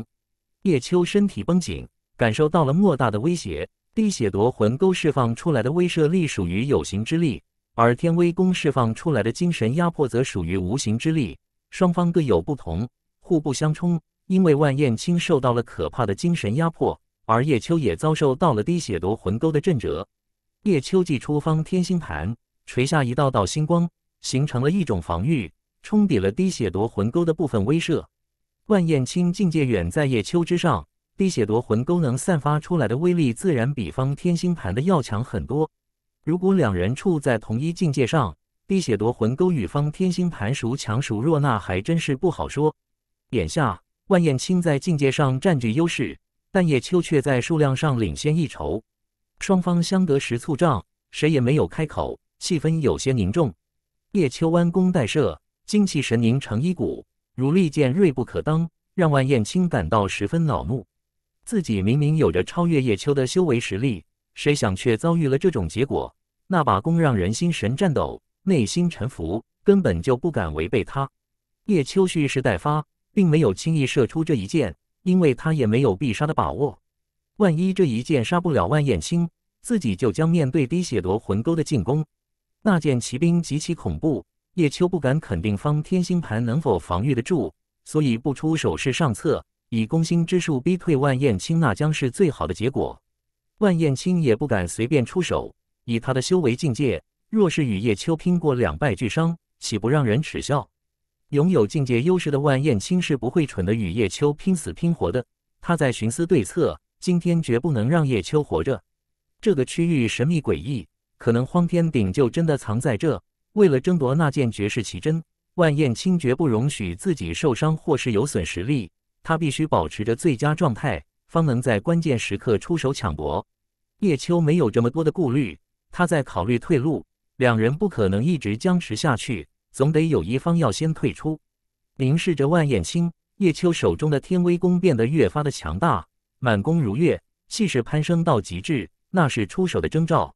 万燕青脸色阴沉，双眼微眯，手中的滴血夺魂钩横在胸前，做好了随时防御与反击的准备。一声厉啸划破长空，叶秋最终射出了那一箭。前方虚空波动，无形的精神压迫让天地都在哀嚎，万物都在颤抖。世间的极限分为两种，一种是力之极限，有形有色；另一种是精神极限，无形但却压制万物。万燕青怒吼，他没有选择。在叶秋射出那一箭的时候，他挥动了手中的滴血夺魂钩，一道血色的劈链斩碎苍穹，朝着叶秋席卷而去。巨大的石室都在迅速崩裂，地面的符文莲花一朵朵破灭，承受不住那一击的恐怖。叶秋全力催动方天星盘。使其放大促倍，地面出现了超重力场，百倍重力形成的场域让虚空都在扭曲。万燕青那一击破灭天地，斩碎生机，血煞之力如逆天狂龙吞噬一切，威猛无匹。天威弓射出的一箭化作了一只乌鸦，带来了地狱的问候，锁定万燕青的眉心视海，让他无处可躲。万燕青一剑挥出，滴血夺魂钩顺势朝着那一剑斩去。血煞之力与精神压迫产生了重冲撞，引发了爆炸，但却未能将其逼停。双方的攻击同时发起，叶秋的那一剑洞穿时空，如天威降世，笼罩在万燕青的心头。万燕青的一击血煞而恐怖，仿佛要屠灭世间一切生灵，将所有违逆之物全都消灭。万燕青以神兵抵挡那一剑，叶秋以方天星盘承受这一击，双方都有所准备。但都不可避免地遭遇了危机。一声巨响，山摇地动，石室垮塌了近半。万燕青横飞出去，眉心滴血，神魂遭受了重创。叶秋被直接轰飞，头顶的方天星盘在急速转动，一次次冲抵那股恐怖的血煞之力，百倍重力形成的场域眨眼就破灭了。滴血夺魂钩确实威力恐怖，但却未能杀掉叶秋，只是将其重创，七孔都有鲜血溢出。这一战双方两败俱伤，乃是叶秋预料之中的结果。万燕青脸色铁青，事先他从未想过自己竟然会伤在叶秋手中。这其实就是叶秋的聪明之处。有形之力的比拼，因为境界悬殊太大，叶秋根本不是万燕青的对手，所以他选择了无形的精神压迫。这方面，叶秋成就惊人，并不在空明境界的高手之下，借助天威功之力，足以与很多高手叫板。翻身而起，万燕青怒视着叶秋，手中的滴血夺魂钩在滴血，源自他的眉心处，正迅速融入夺魂钩。叶秋缓缓站起，左手中指乌光绽放，天威弓再次出现，立在他的身前，右手拉弦，黑羽自现，二次透射出恐怖的精神波动。叶秋，我真是小看你了。万燕青咬牙切齿，但却不敢妄动。叶秋伤得不轻，但他却神色从容。我说过，与沈毅、林天相比，你还差很多。他们也一直想杀我，可我却一直都活着。万燕青恨声道：“别得意，这一次我是不清楚你的底细，下一次我不会再给你施展那张弓的机会，我一定会亲手杀掉你。”一闪而退，万燕青以神兵滴血夺魂钩护体，顺着通道退了出去。叶秋没有攻击，收起天威弓，缓缓转身看着附近，打开神界。叶秋取出两株灵药服下，头顶方天星盘，仔细打量着已经垮塌了一半的石室。完好无损的区域里，一丝丝符文从地面升起，在半空中形成了星空奇景，可以看到各种飞行的行星、恒星、卫星以及星云，朦胧而美丽。叶秋小心翼翼地靠近，体内的伤势在灵药的滋养下迅速复原，细胞重生，血液净化，身体在自我修复。那片星空奇景很吸引人，许多星辰的运行轨迹很古怪，在半空中形成了一尊鼎，这让叶秋很吃惊。第两百零八章石鼎现世。叶秋尝试着靠近那些符文演化的星空奇景，并没有对他造成任何伤害，完全就是一些虚影幻象，看似华丽，但却抚摸不到。叶秋在那片区域转了几圈，心中闪过一念：就在那星顶只在盘坐疗伤。方天星盘在他头上盘旋，垂下一道道星光，与那奇景交相辉映。进入疗伤状态的叶秋心无杂念，并没有发现那些星辰、星云、星海正在与方天星盘之间产生变化。许多星纹缠绕在叶秋身上，慢慢渗透他全身细胞、血液、筋骨，让他的伤势在快速复原，有了一种脱胎换骨之感。林若冰获胜之后，被传送到了一个石林之中。这儿明明是地下，但却一点也不暗，可以清楚看到石林的情况。这片石林不算很大，东西横跨数百丈，南北距离近千丈。林若冰手握鸾凤神戟，一条红绫盘旋在身外，正是那天火霞云保护着他的安全。石林之中有奇怪的声音回荡不息。林若冰进入之后，听到了许多奇奇怪怪的声响，其中又隐藏着一种玄妙而难懂的音律。林若冰放慢脚步，仔细聆听，四周出现了许多幻象，全都与那声音有关系。这到底是什么地方？为何会这样？林若冰小心翼翼，不时去触碰一旁的石头，指尖会泛起光亮。手指接触到石头时，耳中的声音一下子就清晰起来。林若冰自幼在满武门修炼，手段并不多，但自从得到了三皇诀后，整个人的气质美貌都有极大变化。智慧也得到很大提高。置身石林之内，林若冰小心的前进，谨慎的尝试，发现这些石头与那声音之间存在着某种关系。为了搞清楚这一切，林若冰一边抚摸石头，一边仔细聆听，在石林之中耐心的转悠，将所有石头都逐一抚摸了一遍。诸多的信息在他脑海中交织，数不尽的声响在重叠融合，慢慢化为了一种声音。林若冰心无杂念。慢慢领悟到了一些东西，就在这石林之中不停的转悠，从一开始的漫无目的，到后来的井然有序，说明他确实悟出了很多东西。白云龟顺着光柱一直下坠，突然直接就被传送到了一个迷雾笼罩的区域。从附近的环境来看，这是地下世界，因为头顶有岩石。后不知几许，在迷雾中走了一圈，白云龟发现了一个山洞，便走了进去。那是一条通道。前行百丈就遇上了一道火符，横在通道中间。要想过去，就必须经受考验。白云龟屈指一弹，一道冰芒射向火符，引发了激烈的爆炸。冰火之力在通道中互不相容，出现了排斥、压制的现象。火符的威力很强大，但白云龟试探后发现，这种火符只对空明三重境界以下的修士具备威胁，自己根本就不怕。穿过火符，前方出现了流沙锋刃。那一关危险性很大，稍不留心就会陷入流沙之中，无力自拔。白云龟直接硬闯，连续三关之后，来到了一个岔道纵横的路口上。仔细留意了一下，一共有七个岔道口可供白云龟选择。白云龟犹豫了一下，前方就有一道身影闪过，吸引了他的目光。考虑了一下，白云龟迅速追去，远远跟着那道身影，发现那竟是一头妖兽，拥有空明巅峰境界的实力，此刻正回头看着他。白云龟没有避让，冷冷地看着那头妖兽，眼中闪烁着寒光。妖兽低声咆哮，瞪了白云龟几眼，一闪而跑了。白云龟快速追去，前方电芒闪耀，三道闪电交织在一起，呈螺旋状，刚好把去路堵住了。那头妖兽硬闯，被螺旋状的闪电缠绕在身上，发出了震天嘶吼，似乎伤得不轻，但却成功闯过去了。白云龟犹豫了一下，知道这是一种考验，实力不够就过不去，没有任何取巧的办法。纵身而起，白云龟选择了硬闯。洁白的衣裙被闪电烧焦，身上有电流传输，脸上露出了几分痛楚。闯过之后，白云龟加速前行，前方有霞光涌动，有气流回荡，似乎有高手在激战。那是一个巨大的洞穴，汇聚了不少强者。洞中有一尊石鼎，高约三丈，镇压四方。白云龟看到了很多熟人，有赤天虎、沈毅、凌天、天雪龙风。以及一头巨鹰，那可是万兽境界的妖兽。此刻，巨鹰正在与魔魅族的天雪龙风对峙，双方都盯着那尊石鼎，心里在猜测：这会是荒天鼎吗？赤天虎、沈毅、凌天各立一方，全都注视着那尊石鼎，动用一切手段对它进行探索，想要分辨它的来历。白云龟之前追的那头妖兽也来到了这里，在两大万兽境界的高手面前，它也显得格外谨慎。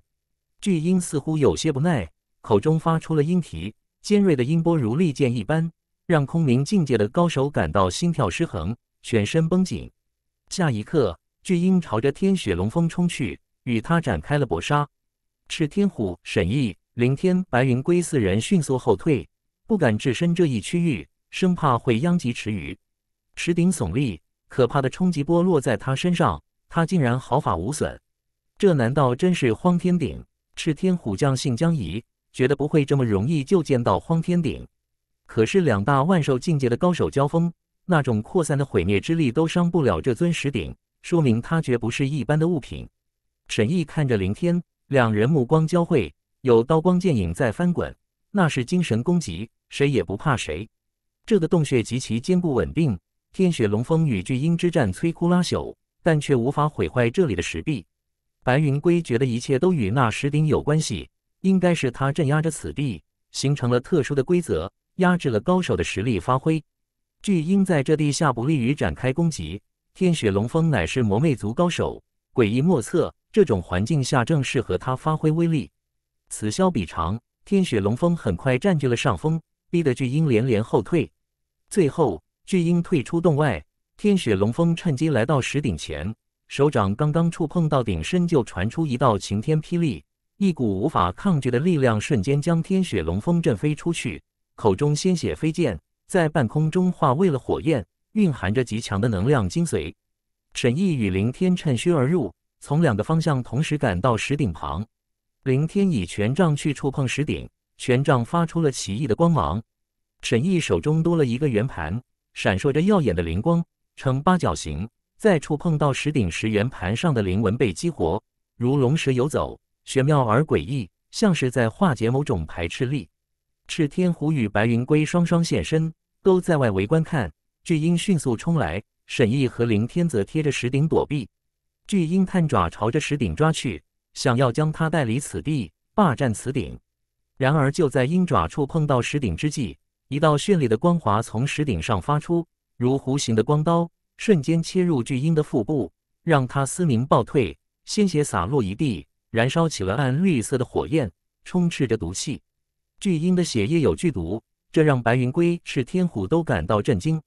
修炼到万兽境界的高手，血液一旦接触到空气就会燃烧，除非是提前封印。石鼎重创了天雪龙风与巨鹰，可沈毅与林天却安然无事，这说明两人确实不可小视。这时候。洞穴之中出现了叶秋迎战朱成玉的画面。白云龟看到叶秋获胜，心中颇感欣慰，只是不知道叶秋身在哪里。沈毅与凌天在争夺，权杖与圆盘各有玄机，有效克制了石鼎的反噬之力，让巨大的石鼎出现了移位。随后山崩地裂，石鼎冲天而起，击穿了厚厚的岩石层，从冥渊谷深处飞出了地面，落在了三派高手与众多妖兽的眼里。沈毅和凌天抬头看着飞出去的石鼎，两人眼神古怪，竟没有追去，而是朝着其他岔道冲去。赤天虎迟疑了一下，迅速追了出去。谁想还未冲出地面，就被一股莫名之力给弹飞了回去。白云归一惊，那石鼎明明不受限制，一下子就冲了出去，何以赤天虎却被弹回？可恶的沈毅与凌天，他们早就知道，却故意隐瞒。赤天虎咬牙看了白云归一眼，朝着沈毅走的方向追去。白云归选择了凌天，这家伙是灵神传人，对于荒古大陆上的很多事情都知根知底。跟在他后面，说不定会省去很多事情。青琉璃与幻雪分别进入了不同的区域，他们也遭遇了各种考验，见到了叶秋的两次交战，但就是找不到叶秋在哪里。饥荒遇上了天熬一墨的明天，两人初次相遇，明天在暗处见过饥荒，但饥荒却不知道明天的来历。双方都有着极强的实力，都冲着荒天顶而来，并无直接恩怨，所以对闯而过，并没有开战。万古门与天荒教的几位空明境界高手也都各有际遇，或历经考验，或独创难关，在不辨东西南北的神秘区域中，如无头苍蝇一般胡乱的瞎闯。冥渊谷中，巨大的光柱傲立天下，直通地底。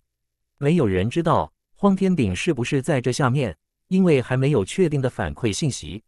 也没有人知道这是不是一个陷阱，因为它透着危险的气息。第两百零九章龙天羽现。冥渊谷上空，那尊石鼎绽放出万千光华，就像是被沈毅与凌天激活了一般，数不尽的神纹符印从内部渗透出来，显化在众人与众妖兽面前。万古门与天荒教的高手第一时间冲出，想要抢夺此物。古烈与清月仙子关系复杂，两人历经磨难，虽然表面上处在敌对立场，但私底下却不希望兵戎相见。如此一来。双方都犹豫不动，只是让空明境界的高手去尝试。满武门与蛮灵门的高手人数不多，但也参与进去。谁想却被后发先至的妖兽拦截。这尊石鼎气象万千，大家都对他有着矛盾的心情，既希望他是荒天鼎，又担心他就是荒天鼎，怕他落在别人手里。一声虎啸由远至近，让虚空都出现了阵阵涟漪，似波浪一般，将附近的高手全都推了出去。那是一头黑虎，额头上的王字上面有一点，那是一只眼睛，睁开之际有山河破碎的异象，超凡之极。王字上面多一点，那是一个主字，这黑虎主凶杀，乃是太古凶兽的后裔，终于出面插手此事。在妖族联盟的黑灵王而言，散布荒天顶的消息不仅要吸引三派进去，还要把太古九大凶兽全都吸引进去，那样他才有机可乘。如今。黑虎出现，凶兽现世，平静的大荒终于要再次想入混乱的黑暗时代。古烈出手拦下了黑虎，不想他伤了三派高手的性命。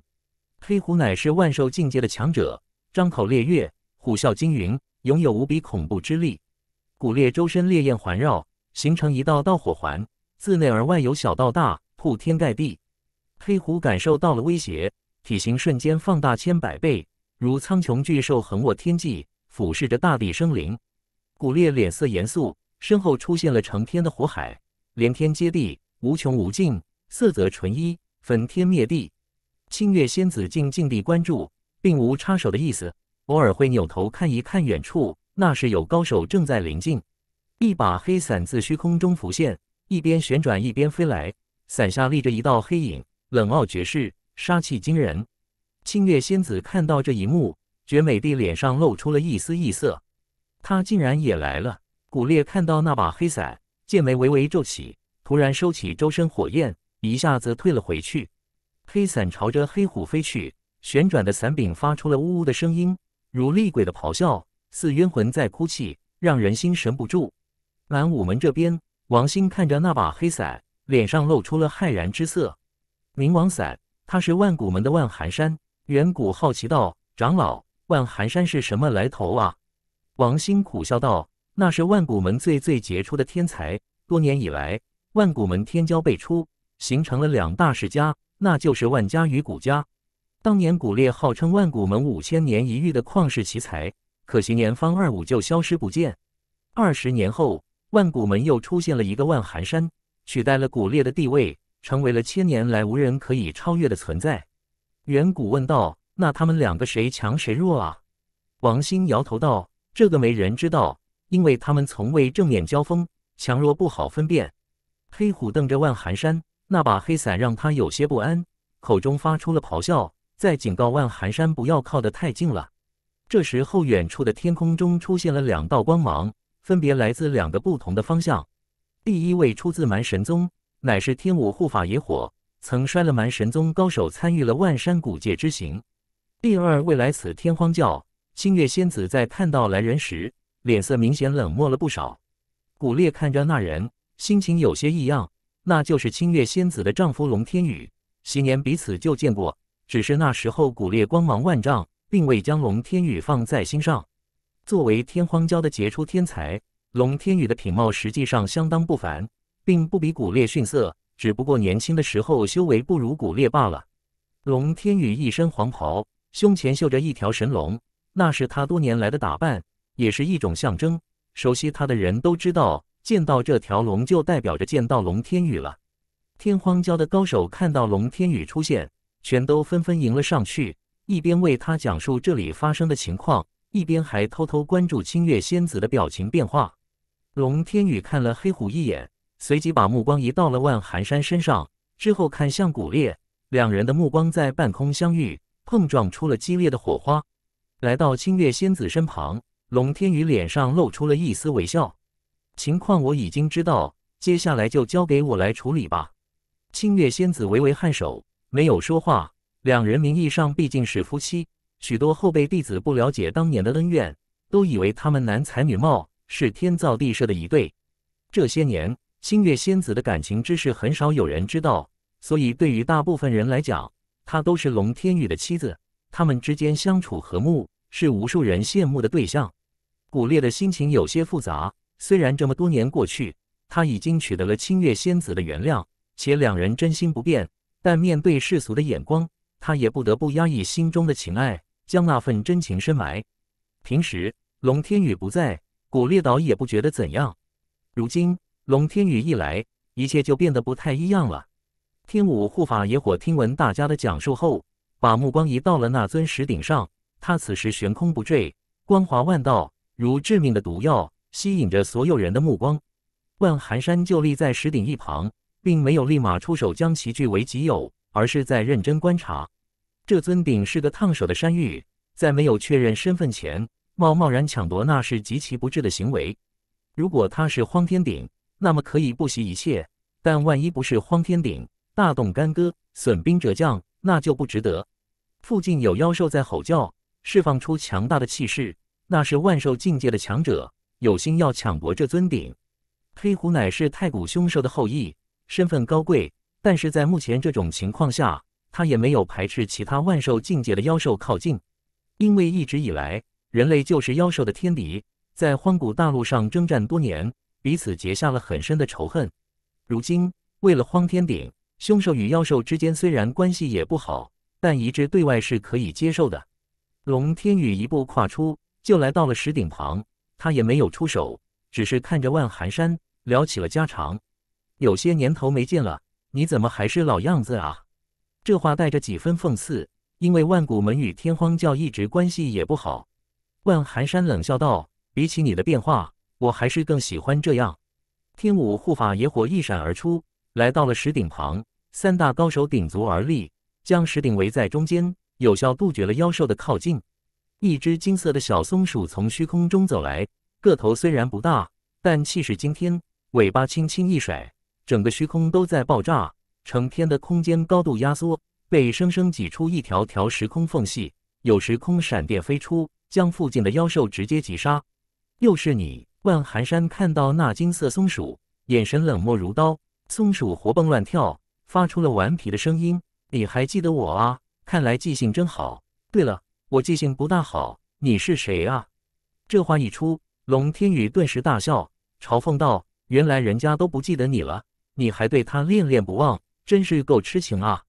万寒山喝道：“你住嘴！自己都快打光棍了，还有闲心在这胡说八道。”作为当年的那一批高手，万寒山对于古烈的了解程度绝对比其他人高出不少。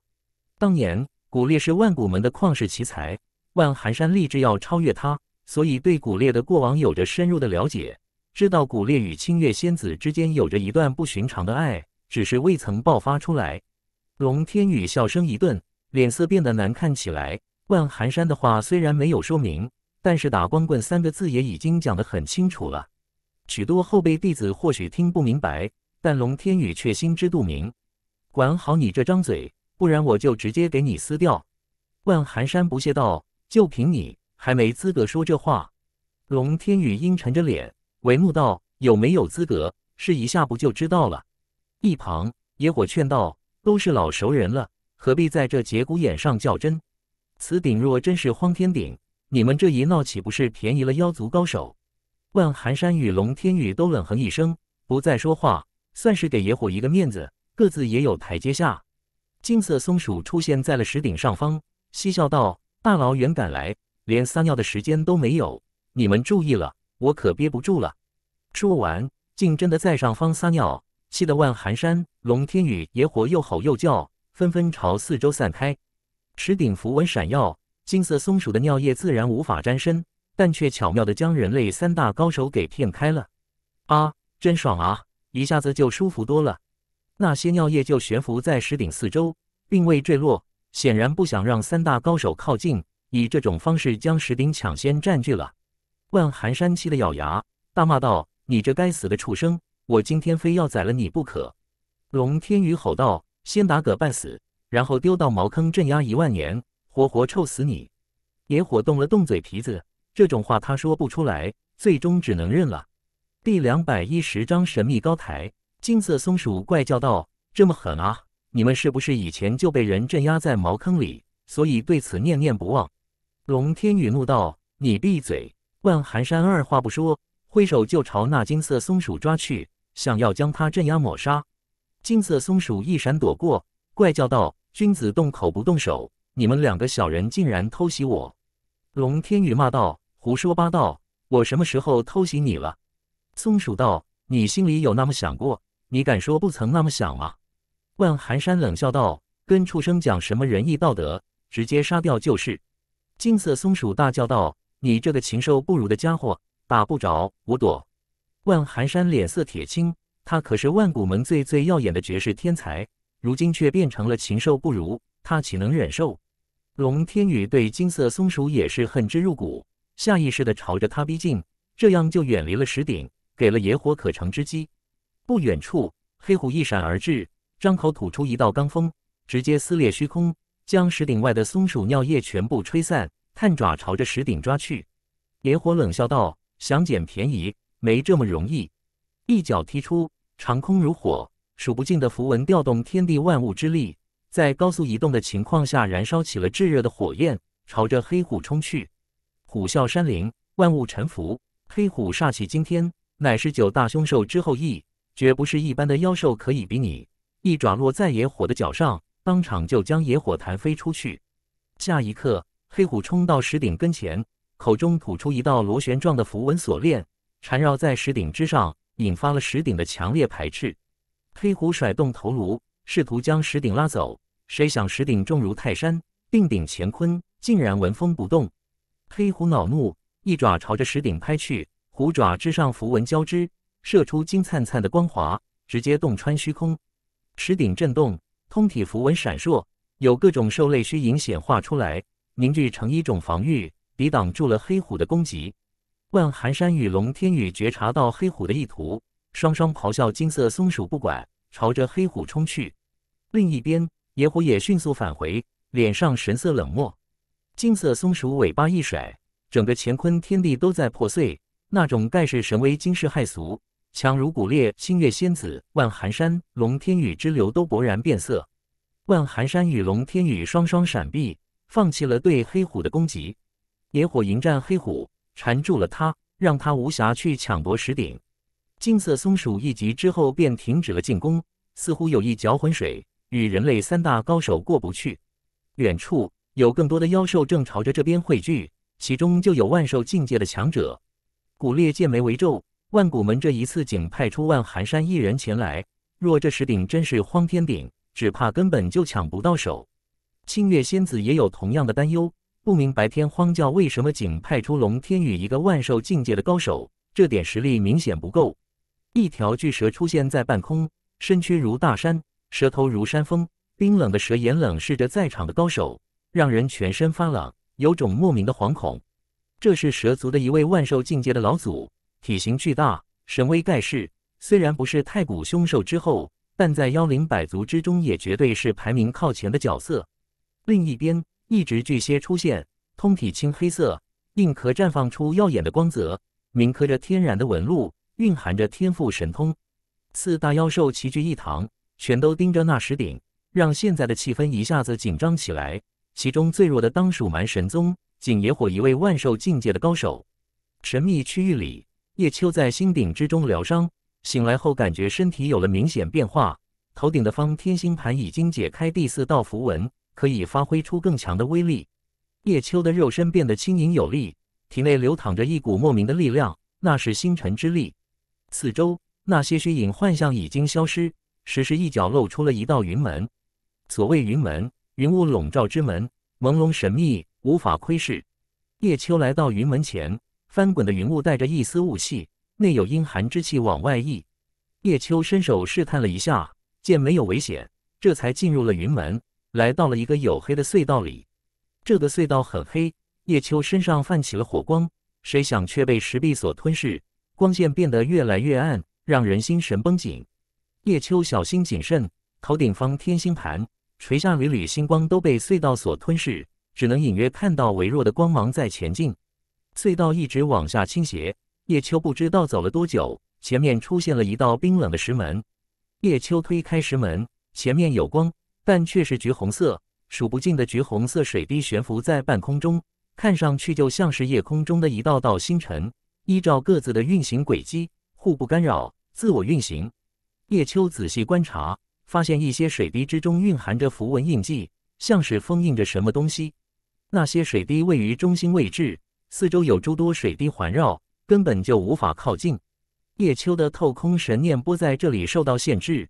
只有运用媚眼结合百念成炫，一步步推算，一步步分析。叶秋在移动脚步，这橘红色的区域占地促十丈，一共有一千滴橘红色的水滴，好似一座大阵。叶秋看了许久，记住了阵法的运转轨迹，但却始终悟不透其中的玄机。难道是我想多了？这阵法就没有什么玄机？叶秋觉得奇怪，观察了好一会后，便离开了那里，穿过一个石洞。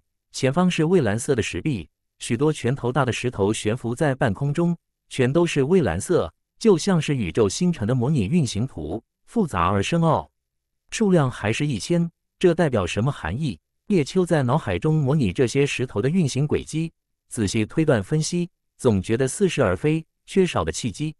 继续前行，一道石门映入叶秋的眼底，门那边有光，还有清新流淌的空气。叶秋穿过石门。眼前的景色让他整个人都呆住了。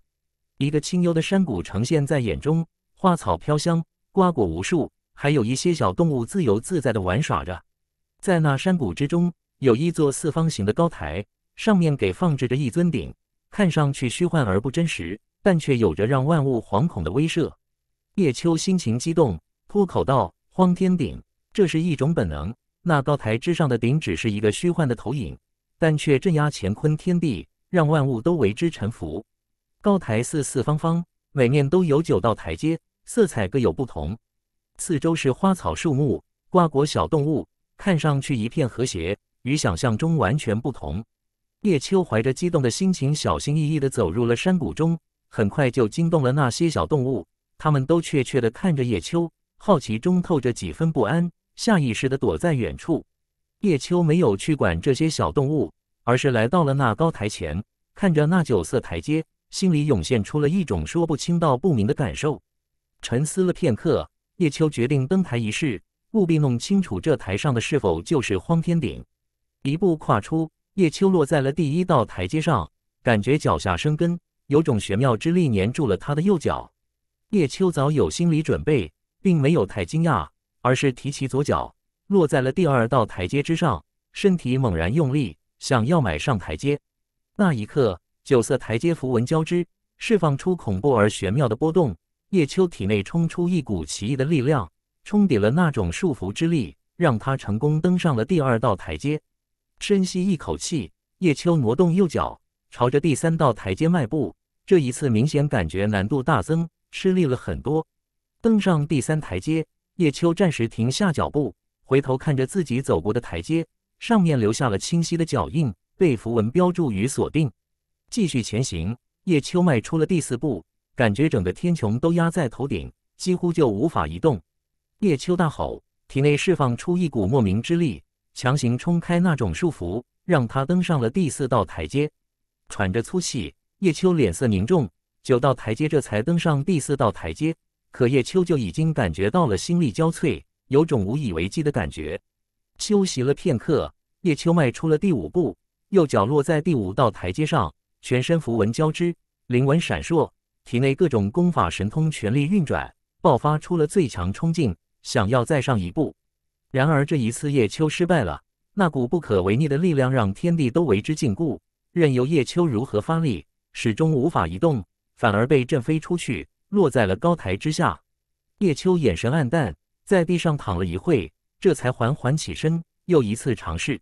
这一回，前面四道台阶很容易就上去，甚至没有受到任何限制，但是第五道台阶却始终不可逾越。叶秋感到迷茫，自语道：“为什么会这样？”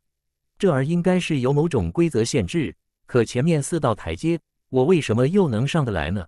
叶秋想不通，每个面都试了一下，前面四道台阶毫无压力，到了第五道台阶就无法继续。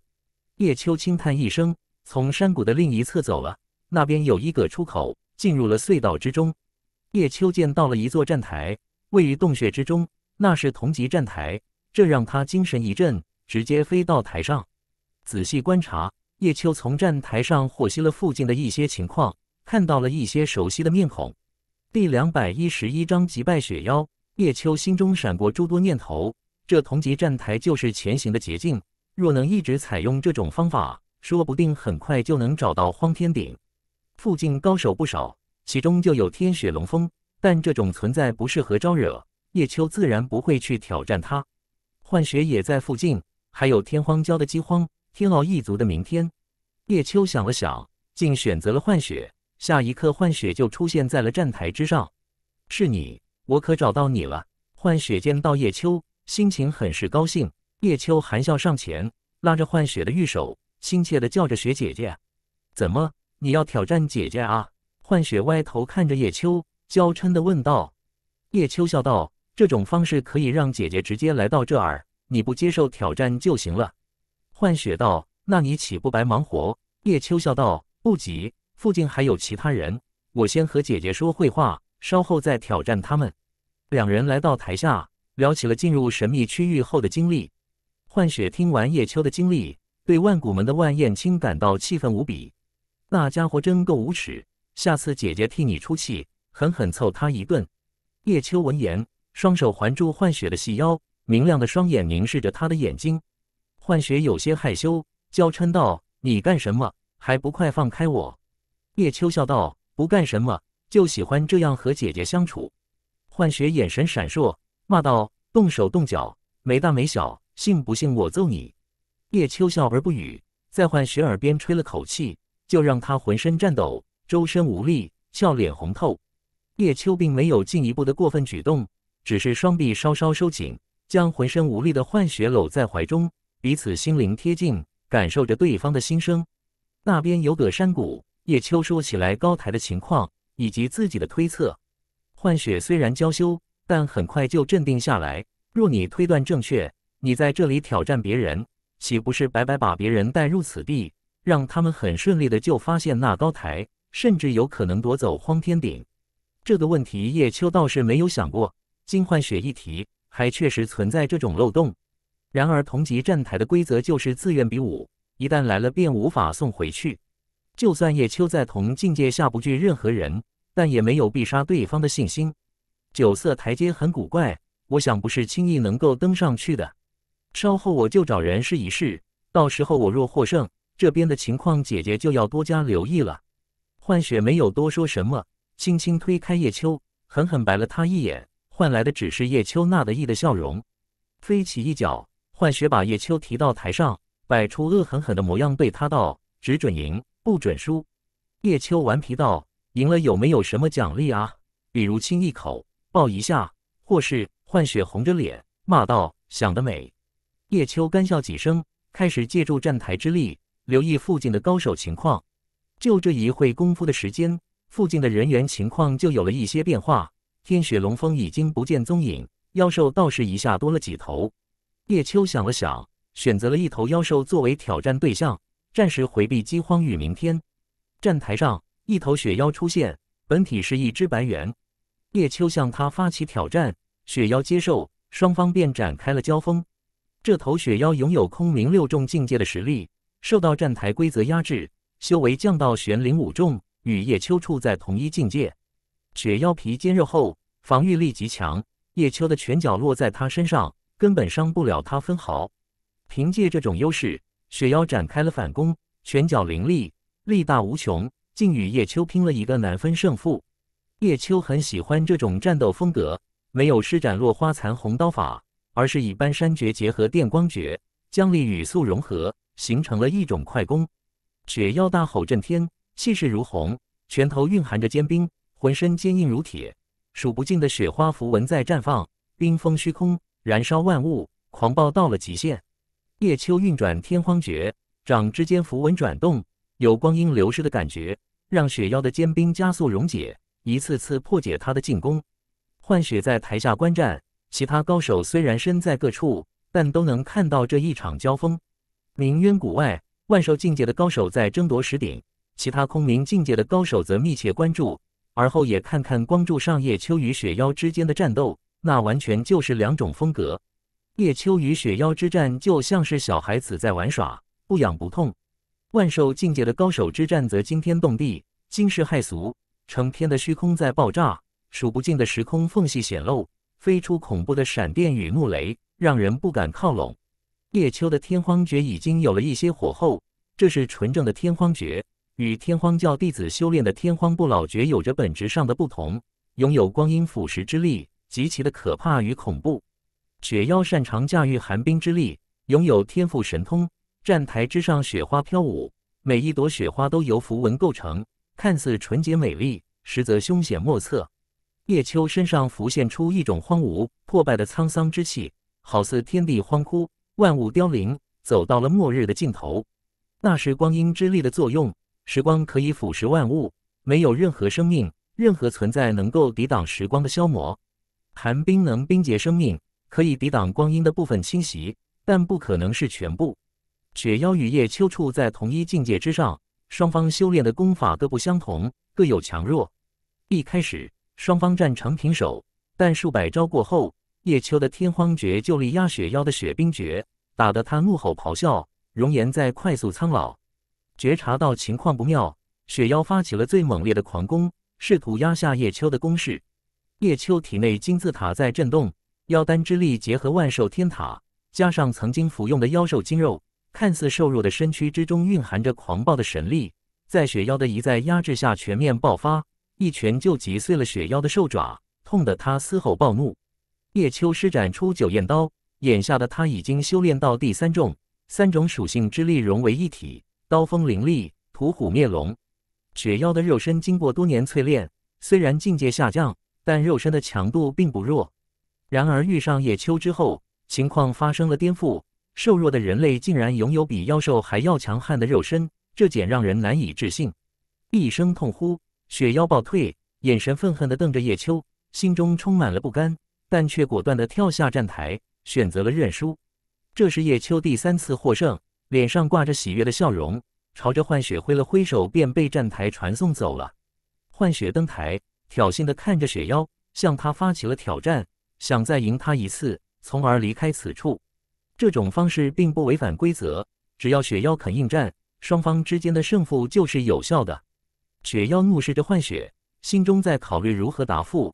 虽然他负伤不轻，但恢复境界之后，那点伤势很快就能痊愈。幻雪是空明境界的高手，雪妖也是空明境界的高手，双方同境界一战，雪妖不一定会输。加上幻雪与叶秋是一伙的，雪妖刚刚在叶秋手上吃了亏，若能在幻雪身上找回来，也算是给自己报了仇。想到这，雪妖跃上站台，接受了幻雪的挑战。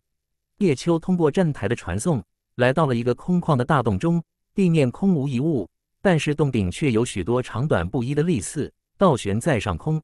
叶秋抬头仔细关注，发现那些利刺有长有短，细看数量很多，长短不一，没什么规则。但若是打眼一看，就会发现那些长短不一的利刺在空间上构成了一些立方体，其中有一处看上去就像是一尊鼎，那需要很好的想象力，否则根本看不出。叶秋剑眉微皱，一路走来似乎都与鼎有关。难道这些都与荒天鼎有牵连？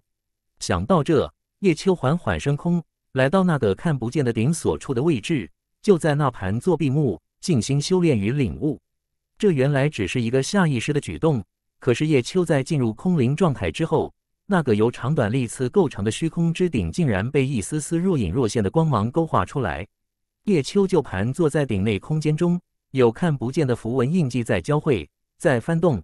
一次次穿透叶秋的身体，在他血液细胞之中重组，与他神魂肉体融合。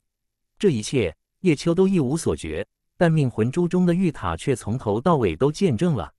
那看不见的顶内符文印记在快速交融，每一次洞穿叶秋的身体，钻入他的体内，符印就会消失很多。此消彼长，等到顶内所有符文印记完全消失在叶秋体内时，也就是他苏醒的时刻。这就好似一种生物钟，到了那时候，叶秋就会自动醒来，根本不明白发生了什么。叶秋其实有一些猜测，但他生性沉稳，很难看出内心的情绪波动，所以给人的感觉就会很平静，甚至显得冷漠。睁开眼睛，叶秋觉得身体有了一些不同，却又说不出什么地方不同。飘然而落，叶秋看到了幻雪，轻呼道：“姐姐怎么也来了？”幻雪笑道。你走之后，我又登台继续挑战那雪妖，他满心不甘地接受了挑战，最终败在我手，所以我也来了。只是很奇怪，我来好一阵了，既没有发现出口，也没有看到你的踪迹，你到底从哪钻出来的？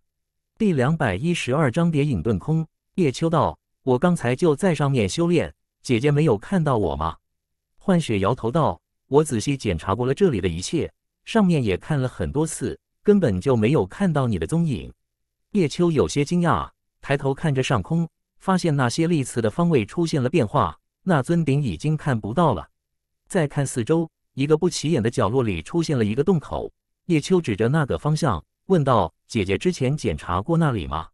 幻雪一看，惊愕道：“我之前走了几圈，还用手抚摸，那人根本就没有洞口，怎么现在突然就冒出来一个？”叶秋道。既然解释不清楚，那就不用去管太多，走吧。拉着幻雪的小手，叶秋大步往前走，两人一起进入了那个洞口。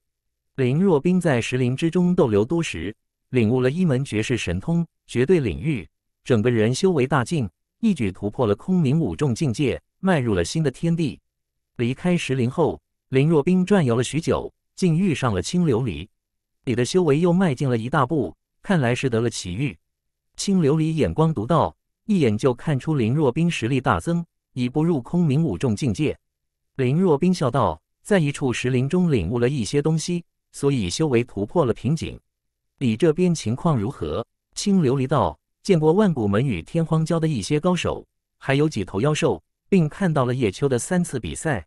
目前推测，幻雪应该与叶秋在一块。”林若冰听完青琉璃的讲述，沉吟道。这个地方诡秘莫测，根本不知身在何处。我们会尽快与他们会合。青琉璃道，一路走来，历经考验，凶险颇多，已经有高手死在这，我们得当心才是。两人同行，寻找出路，最担心的还是叶秋，毕竟他修为不足。一个阴森的洞穴中，一块块墓碑有序的排列，看上去有些恐怖。林天站在入口处，看着这些墓碑。嘴角泛起了一抹邪恶的笑容。走入洞中，林天手中的权杖泛起了异样的邪光，射出千丝万缕，缠绕在那些墓碑之上。有些墓碑有反应，有些墓碑则毫无动静。但凡有反应的墓碑，都会出现一些字符或是印记，自动飞到半空，依照某种规则排列，形成了阵图。白云龟跟在凌天后方，与洞外看到了这一幕，眼底灵纹涌动，在分析与领悟。凌天缓步走着，手中的权杖闪烁着诡异的光芒。洞中的阵图在快速变换，像是被破解了一般。白云龟进入洞中，发现凌天身外有一层看不见的神秘符文，时刻转变着频率，保护着他的身体。洞穴颇大，有墓碑数百座之多，其中有反应的墓碑占了三分之一，形成了一个神秘阵图。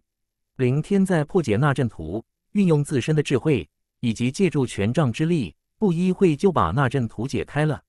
那一刻。白云龟看到墓碑之中升起一道暗绿色的光华，那是一块石符，飞入了凌天手中。轻笑一声，凌天回头看了白云龟一眼，突然加快了速度。白云龟有些失落，但还是很快追去，并未放松。另一个地方，沈毅走入了一个放置石棺材的洞穴之中，那人放置着九口石棺材，其中有五口棺材的棺盖都是打开的，里面空无一物。剩下四口棺材位于四个角落，棺盖之上都堆放着一些白骨，看上去就像是祭坛一般，时不时会冒出一缕鬼火。赤天虎出现在沈毅后方，进入那洞穴之前，心里就泛起了一股强烈的不安，知道这个地方非同小可。沈毅放慢脚步，右手指尖凝聚成一道火焰状的符文，轻轻地落在一口棺材上，引发了棺盖上那白骨祭坛的反应，射出了一道火舌。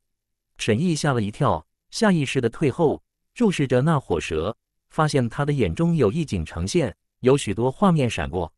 沈毅想要上前，火蛇突然扑出，发起了进攻，显然不欢迎沈毅的靠拢。沈毅无奈，换了一个方向，走向第二口棺材。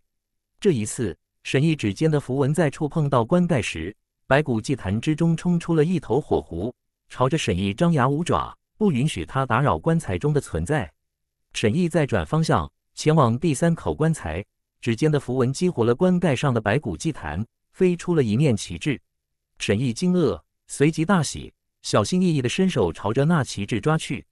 那面旗帜之上绣着一轮烈日，炙热的烈焰普照四方，驱散世间一切阴森恐怖。赤天虎迅速冲来，想要抢夺那面旗帜，谁想却被沈毅反手击退。怒吼一声，赤天虎弹指射出一道金光。朝着那旗帜飞去，沈毅凌空一点，指锋如剑，将赤天虎射出的金光弹开。下一刻，沈毅抓住了那面旗帜，身体出现了剧烈颤抖，但却被他忍住，强行将旗帜收入手中。赤天虎反应迅速，身后光翼一展，搅碎虚空，整个人化作一头巨虎，朝着沈毅冲去。沈毅转身闪避，冲到第四口棺材边，指尖的符文触碰到了棺盖。上面的白骨祭坛被激活，从中飞出一头火麒麟，赤天虎紧随而至，强大的攻击被沈毅引到了那头火麒麟身上，变成了赤天虎与火麒麟之战。石棺出现震动，释放出恐怖的威慑，一举将赤天虎弹飞了。沈毅轻笑一声，一闪而过，离开了此洞。赤天虎吃了个哑巴亏，心中对沈毅是恨得要死，顾不上身上的伤势，立马朝前追去。叶秋与幻雪穿过隧道，来了一处垮塌的洞府。那人有一尊石像，乃是一头麒麟兽，镇守着洞府入口。叶秋在临近时感受到了一种强烈的排斥，源于那头麒麟石像，他就好似有意识一般，感应到了叶秋身上的邪恶。幻雪没有任何感觉，强子将叶秋拉入洞府中。里面垮塌严重，但看样子应该是很久以前的事情了。幻雪惊疑道。这儿怎会有一座洞府？说不通啊！荒天鼎耗时百万年才孕育而成，不可能有其他人进入此处，这洞府就显得有些诡异了。叶秋道：“我想到了一个可能性，或许来此修建洞府之人，并不知道荒天鼎就在这，他只是觉得这个地方不错，很隐秘，适合修炼罢了。”幻雪看着垮塌的洞府，石壁之上留有字迹，内容与叶秋的猜测毫无关系。那是一门玄妙的神通，名为蝶影遁空术，可以在这神秘区域中遁走。叶秋与幻雪大为吃惊，这个神秘区域限制了一些探测之法，即便有心施展遁术，也得考虑安全。这洞府之中记载的叠影遁空术，算得上是一门玄妙的神通，属于辅助手段，但却相当实用。幻雪拉着叶秋一起领悟，以两人的悟性不一，会便悟出了七八分，剩下的就是修炼与尝试了。在那洞府之中，叶秋还看到了一个断剑的标志，下面画着一个骷髅头。姐姐见过这标志吗？幻雪一看，摇头道：“没见过，应该不是荒古大陆上的标志，恐怕是来自别处。”这个洞府没有出口。幻雪与叶秋修炼了一会叠影遁空术，感觉已经初步掌握，两人便开始尝试了。叠影遁空术顾名思义，身影叠加越多，遁空之术越强。这是将阵图的运用与空间之术的运用相结合。幻雪看着叶秋，轻声道：“我先来尝试。”万一我们遁入不同的区域，你要多加小心才是。叶秋道：“雪姐姐不用为我担忧，我会照顾自己。”幻雪微微颔首，施展出叠影遁空术，六道身影分立六方，随后朝着中间融合，瞬间绽放出璀璨的光芒，化作一道光点，眨眼就破空遁走，不知所踪。叶秋等了破空，待洞府之中的空间平静之后，他才施展出叠影遁空术。叶秋的修为境界差了幻雪很多，他只能施展出四道身影，分立四方，然后朝着中间融合，绽放出强盛的光芒，一闪就消失了。幻雪的担忧不幸成真了，他和叶秋分别遁入了不同的区域。他来到了一个十字路口，耳中传来潮汐之声，脸上露出了惊愕。这可是地下世界，怎会有大海的潮汐之声？没道理啊！叶秋出现在了一个燃烧的洞中。那火焰很恐怖，将上方的岩石都融化了，变成岩浆，不时的滴落。那些岩浆在滴落的过程中，被热气上涌形成的气流托在半空，形成了一尊火鼎，半虚半实，内部有火符闪烁。叶秋看着那火鼎，心中涌现出了一种莫名的冲动，就像是受到了某种招呼，下意识的走了过去。置身烈焰之中，叶秋感到酷热，但是他的身躯并未出现灼伤的情况。似有一种免疫力，不惧怕烈焰的焚烧。叶秋不知道自己是怎么进入那尊火鼎之中的，总之他浑身无伤，就在那火鼎之中盘坐修炼，心如明镜，身如烈火。火鼎之内，各种符文印记蕴含着天道法则，大道真谛在叶秋体内聚合演变，重新进化，完成了一次超脱。这种淬炼对叶秋的身体有着莫大的好处，虽然境界没有提高。但是蕴藏在血肉细胞、筋骨皮膜、经脉脏器之中的潜能却在不断增加。第两百一十三章荒顶噬魂。叶秋的命魂珠中，玉塔在沉浮，密切关注叶秋的身体变化。梦灵的叹息回荡在玉塔之中。如此牢固的根基，这般巧合的奇遇，到底命运想要将他塑造成一个怎样的人物？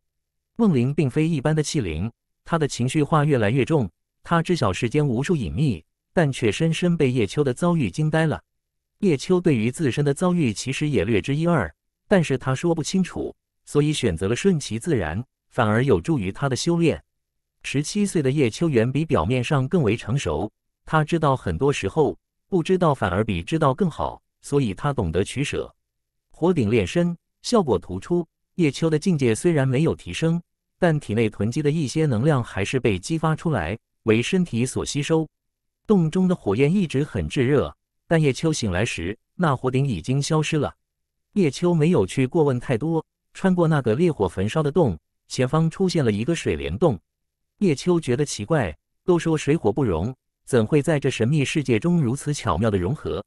水帘洞很大，源源不断的水滴落下，感觉很清爽，哗哗的水滴声清脆悦耳，似乎蕴藏着什么。叶秋静静地走着，前方出现了一个水潭。石壁之上有一颗龙头，巨大的水柱从龙口之中飞出，落在那水潭之中，溅起了无数浪花。水潭的水一直不曾漫出，而龙口中的水柱直径粗壮，出水了相当惊人。显然这水潭下通暗河。叶秋看着倾泻而下的水柱，眼中出现了幻觉，仿佛看到了一尊鼎藏在那水柱之中，傲然而立，既不下沉也不上浮。叶秋一步跨出，就射入了水柱之中。感受到了莫大的冲击力，将他直接冲入水潭中。很快，叶秋浮出水面，又到了潭边，再一次射入水柱之中。这次的高度与切入点都与前一次不同，水压将叶秋往下冲，但是到了某一点，叶秋的身体稳住了，脸上露出了奇异的笑容。叶秋盘坐在水柱中，身外有一尊虚影显化的鼎将他托住，他就在那鼎内修炼，很快就进入了空无一念的状态中。饥荒历经辛苦，终于来到了一个山谷，那里有一座高台，上面立着一尊鼎，虚实莫辨。释放出镇压万物的恐怖波动，荒天鼎，饥荒眼中露出了惊喜之色，一动不动地看着那尊鼎，心情异常激动。这是叶秋此前来过之处，曾登上第四道台阶，但最终败走。饥荒留意到那九色台阶，但他没有想太多。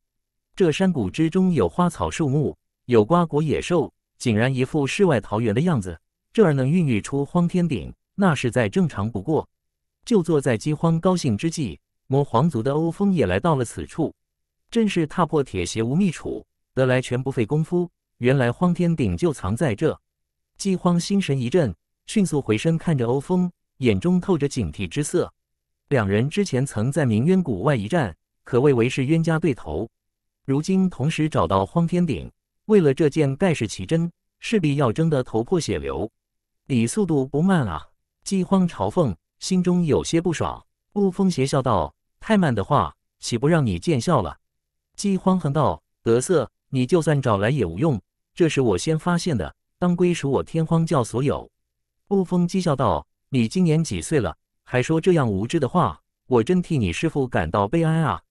饥荒怒道：“欧风，你不要嘴太臭，我有佛塔在手，足以把你镇压在这。”雾峰反驳道：“你似乎忘了，石骨也在我手中。”想镇压我，你还不够资格。饥荒冷笑道：“有我在，这荒塔顶就永远不会落在你手中。”雾峰眼神冷漠，阴森道：“你敢阻我，定杀无赦。”饥荒大笑道：“就凭你也想杀我，还不够资格。”就在两人斗嘴之际，又有人出现了。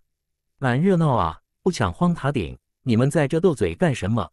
万燕青缓步走来，想煽动两人抢先出手。以便自己有机可乘。饥荒哼道：“我们这不都是在等你吗？两个人争哪有三个人斗那么有趣？”雾峰邪笑道：“走前面的人不见得能占到便宜，走后门的人也不一定就有机可乘。”万燕青冷笑道：“你们这样说，是表示心里很害怕我了？”饥荒眼神冷酷，讥讽道：“是啊，我们都怕你死得太早，没机会玩虐你了。”万燕青脸色为变，骂道：“嘴贱！”待会给你封住。欧风笑道：“上面的封住了，下面的还会放屁。要不你一起给他封住好了。”万燕青道：“下面的自然要留给下流之人，那是非你莫属。”三人都是高傲之辈，自负不凡，口齿伶俐，从不肯认输。山谷中，饥荒、欧风、万燕青三人各据一方，站在那高台之下，一边斗嘴，一边密切留意高台的动静，观察那九色台阶。心里思考着如何才能把荒天鼎抢到走，其余之人还在经历考验，或是被困其中，或是朝着这边靠拢。叶秋在水柱之中修炼三个时辰，醒来时人已经落在了水潭之中。翻身上岸，叶秋穿过水帘洞，前方出现了一个交叉十字口。那人狂风汹涌，罡风如刀，稍不小心就会被撕成碎片。叶秋的双眼涌现出一丝异色。能看到狂风中有一尊无形的鼎，内部有风之符文在闪烁。叶秋不明白自己为什么能看到这些，这并非媚眼心意，也不是透空神念波，而是一种莫名的本能。叶秋进入了罡风之中，在那无形的峰顶内部修炼，感悟独处。他其实不知道该修炼什么，但他心里明白，只要自己忘记一切，很多事情就会水到渠成。这是一种很诡异的现象。叶秋身在其中，满眼迷雾，反而看不透。历经封顶之后，叶秋在众多岔道口中选择了一条路。这不是随意选择，而是他能清楚感应到这个方向有莫名的波动。一个洞穴中，叶秋发现了一个泥潭，那人热气蒸腾，时不时有气泡冒出。叶秋环顾四周，除了来路外，此洞没有其他出口。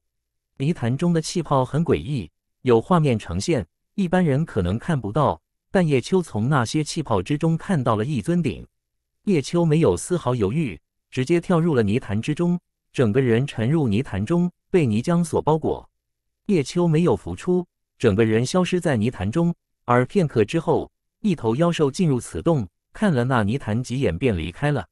之后，陆续有万古门与天荒教的高手来到这，都只是稍作停留，便原路返回，并未觉察到泥潭有何异样。明渊谷上空，巨大的光柱看不出什么变化，大家的注意力都落在那石顶之上。万寒山、龙天宇、野火三足鼎立，黑虎、金色松鼠、巨蛇、巨蝎四足鼎立，将那石顶团团围住。古烈与清月仙子没有出手，眼下谁也无法看透这石顶的来历，且已经有七大万兽境界的高手在对峙，多去一两人也无济于事。南武门再派高手赶回去搬救兵，万古门与天荒教也都做出了类似的举动。远处，煞邪罗看着那石顶，自语道：“动手啊！”你们这群蠢货，这即便不是荒天鼎，也绝对是一件难得的宝物。站在煞邪罗的立场来说，三派与太古凶兽若不火拼，妖族联盟就难以趁虚而入。荒天鼎是荒古大陆上最有名的无上至宝，是黑灵王与煞邪罗费尽心机弄出来的诱饵。若是这样都还无法吸引大家上钩，那么未来就只能比拼实力了。三派与妖族高手并未觉察到远处的煞邪罗。他们之所以僵持，一是不清楚石鼎的来历，二是没有必胜的把握，大家便只能等待关注，寻找最佳的时机下手。荒天鼎所在的山谷，高手越来越多，一些妖兽也来到了此处，眼神贪婪地看着台上的那尊鼎，却很容易忽略那九色台阶。饥荒、暴风、万燕青没有妄动，但是一些妖兽却忍不住抢先下手，直接朝着高台飞去，想要抢夺荒天鼎。这一出手引发了所有人的关注。只见那妖兽毫不费力地从上空靠近荒天顶，兽爪朝着荒天顶抓去，一下子就触碰到了鼎身。那一刻，所有人都心神一紧，生怕荒天鼎被这头妖兽抢走。然而就在这时候，虚实莫辨的荒天鼎突然绽放出一道强光，那触碰到鼎身的妖兽发出了凄厉的惨叫，身躯在快速老化，生命力在迅速消散。仅仅不到三句话的功夫，这头妖兽就衰老而死，全身化为粉末，没有任何挣扎余地，死在了荒天鼎手中。这样的结果把在场高手全都吓傻了。大家顿时明白，这荒天顶不能这样硬夺，需要技巧或是满足某种条件，否则就是自找死路。方法不对，不能从上空直接接触荒天顶，可以尝试登上台阶，看是否有所不同。这样的推断得到了不少人的认同，大家都在犹豫，都在担忧。这荒天顶如此恐怖，稍不留心就可能死在这儿。生命是可贵的，能修炼到空明境界的高手，无论人兽都付出了极大的心血，谁甘心就这样死在这？第两百一十四章束手无策。林天走在沈毅前头，两人一前一后来到了山谷中。白云归与赤天虎落后半步，也很快出现在这。青琉璃与林若冰来的稍晚，之后是幻雪，但却唯独不见叶秋。很快，巨婴出现，他可是万兽境界的高手，他的出现给在场高手产生了无形的压力，因为硬拼的话，在场没人是他的对手。巨婴之后是一条土狗，看上去很普通，但却释放出恐怖的波动。白云龟、青琉璃、林若冰、幻雪四人站在一块，看到那土狗时，全都露出了凝重之色。幻雪低声道：“这是之前从光柱硬闯进来的几头万兽境界的妖兽之一，我记得一共有四头。巨鹰与这土狗已率先出现了。”林若冰道：“也不知道魔魅族的天雪龙风会不会出现，有他在此，至少可以对这些万兽境界的妖兽起到一个牵制作用。”白云归道：“这儿的抢夺不代表最终的归宿，外面还有很多万兽境界的高手守着，就算能把荒天鼎带离此地，也不一定就能占为己有。”青琉璃道：“现在说这些还为时太早，接下来的情况谁也无法预料。一旦这里发生异变，可能导致这一神秘区域的毁灭。那时候我怕叶秋不一定来得及撤走。”说到叶秋，白云归、幻雪、林若冰三女的脸上都露出了担忧，对于眼前那荒天顶的兴趣一下子就降低了很多。高台四周围满了妖兽，他们没有人类的耐心，从上方硬来不行，就选择了登台抢夺。一只雪狐率先出手，轻松登上了第一道台阶，引发了无数人的关注。第一道台阶在闪光，数不尽的神纹印记在显化，释放出玄妙的波动。雪狐继续迈步，在攀登第二道台阶时，周身被神纹符印缠绕，显得格外吃力，几乎用力毕生之力才成功登上第二道台阶。九色台阶变得越发神异，每一道台阶都在闪烁，就像是被激活了似的。看样子很吃力，那可是空明境界后期的妖兽。若是仅能登上两道台阶，那谁人可以登上高台？有人在担忧，这九色台阶看起来比想象中还要可怕，不是那么容易登顶的。雪狐休息了一会，开始朝着第三道台阶进发。这一次，雪狐周身灵纹绽放，天赋神通在激发，一根根雪白的狐毛燃烧着银色的火焰，开始对抗九色台阶的压制。在场所有高手都在关注，包括巨鹰与土狗，对于雪狐的登台怀着某种期待。第三道台阶的规则之力相当恐怖，雪狐拼尽一身修为，身上笼罩着银色火焰，但却被第三道台阶的橙色火焰所压制。嘶吼一声，雪狐猛然登上第三道台阶，身体却在急剧颤抖，如泰山压顶，身躯无法站立，缓缓瘫坐在地，身上的银色火焰在快速消失。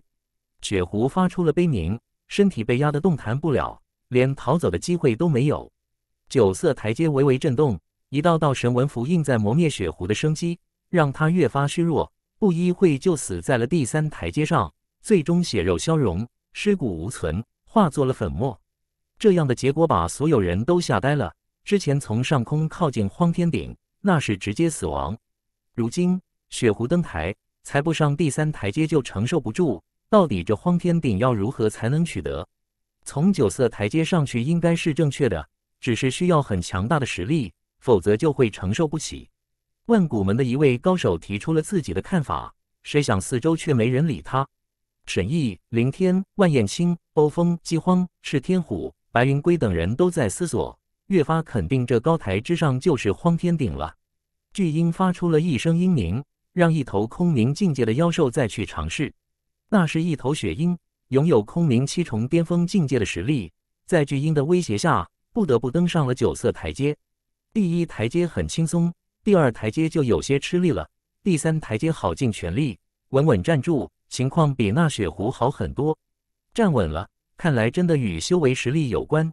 雪鹰休息了片刻，开始迈向第四台阶，引发了无数人的关注。那一刻，雪鹰身上的羽毛根根立起。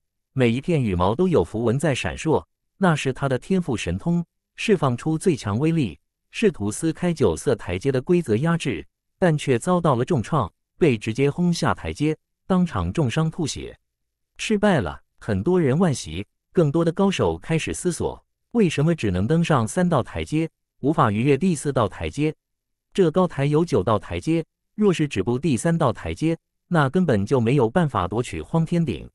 雪鹰虽然受伤，但是让后来者看到了一些希望，引发了更多高手去尝试。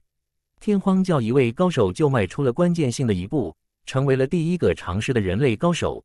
他也登上了第三道台阶，但因为压力太大，还没有来得及去尝试登上第四道台阶，就匆匆退了下来。青琉璃看到这，心中突然有了一个想法：假如第一道台阶对于真武境界，第二道台阶对于玄灵境界，第三道台阶对于空明境界，那要登上第四道台阶，岂不需要拥有万寿境界？白云归道，让你这样分析，荒古大陆就找不出一个人能登上这台阶，即便太古九大凶兽青灵，也达不到那种境界。幻雪道，这些都是猜测，我想肯定有其他办法。林若冰道，现在大家都没办法抢夺，我们只要参与其中就行了。就我分析，荒天鼎这种存在。不是我们能够轻易取到手的。清琉璃道，其实退一步来说，看着这么多自负不凡之辈干瞪眼，那也是一件趣事。这时候，天牢一墨的明天出现，来到了沈毅身侧，低声道：“我仔细搜寻了很久，始终没有找到出口。”沈毅道：“眼下荒天鼎已经出现，但是夺取难度太大，这儿没有出口，三派就无法外出求援，对我们来说算是好事。”明天看了看四周的情况，皱眉道：“巨鹰与土狗都在，那对我们可是莫大的威胁。”沈毅道：“不急，我估计这玩意不是一时半会就能弄好的，我们要做好长远打算。赤天虎就站在万燕青身旁，私下对他道：“荒天顶等级太高，需要派人出去求援，否则我们根本就夺不到。”万燕青看了一下旁边的那位万古门高手，对他低语了几句，那人便匆匆离开了。此前，万古门曾有三位高手进入光柱，但如今只剩下一位，其余二人已不知下落。生死莫测，万燕青让那人设法离开这一神秘区域，将荒天顶在这的消息告诉万古门，增派高手前来支援。饥荒看到这，并没有跟风，显然另有所图。凌天一个人站在那，显得有些孤独。不远处，欧风斜对着他，口中时不时发出一些刺耳的笑声，让人很不舒服。沈毅观察了许久，突然道：“高台四四方方。”如果同时从四方一起登台，会不会有什么变化？这显然是说给大家听的，而许多人听了之后都觉得可以一试，于是立马便有妖兽抢先尝试。四头空明境界的妖兽从四个方向同时登台，步伐保持一致，第一台阶、第二台阶、第三台阶全都成功登上。九色台阶变得更加活跃，似乎被完全激活。然而就在四头妖兽开始登临第四台阶时，一股恐怖的力量自九色台阶内部汹涌而出，一举将四头妖兽震飞。其中一头妖兽被当场震死，身躯爆炸，血肉模糊。凌天看着沈毅，冷笑道：“坑人的手段很不错啊，你不自然去尝试，偏让别人去送死，真不愧是仙王宝典的拥有者。”饥荒道：“或许这一次荒天顶抢不到，能抢到仙王宝典也不错。”万燕青起哄道：“那还等什么？”先把沈毅灭了，谁抢到仙王宝典就是谁的。白云归笑道：“这个主意不错。”大家都把目光移到沈毅身上，饶是他自负聪明，此刻也脸色铁青，恨不得把凌天给掐死。在场妖兽众多，巨鹰与土狗在听到仙王宝典时，明显露出了贪婪之色。凌天拉着沈毅一闪而退，出现在了入口处，但却并未远走。很显然，只要有人出手抢夺。明天就会带着沈毅离开，没人抢夺的话，他们就在那里观看。欧风万喜道：“早知道我就该先把出路堵住，那样就不怕他们跑了。”沈毅骂道：“你们这群趁人之危的无耻鼠辈，早晚我会把你们全杀了。”凌天挑衅道：“有种就来啊，我们在这等着。”赤天虎道：“就怕他没那个胆量，龟缩不出。”沈毅想反驳，却被明天拦住：“不必与他们一般见识。”这种人还没有资格与我们斗。饥荒不屑道：“说的你们好了不起似的，结果还不是丧家之犬，只会东躲西藏。”明天眼神冷漠，狠狠瞪了饥荒一眼，没有理他。这个小插曲仅持续了一会，因为荒天顶的缘故，并没有人真正对沈毅出手。大家的重点还是荒天顶如何登上九色台阶，近距离靠近荒天顶，那才是所有人最关注的。第两百一十五章荒天之秘。泥潭所在的山洞中，热气形成的雾气有所减弱，地面出现了干枯现象，泥潭慢慢冷却，变成了坚固的硬土。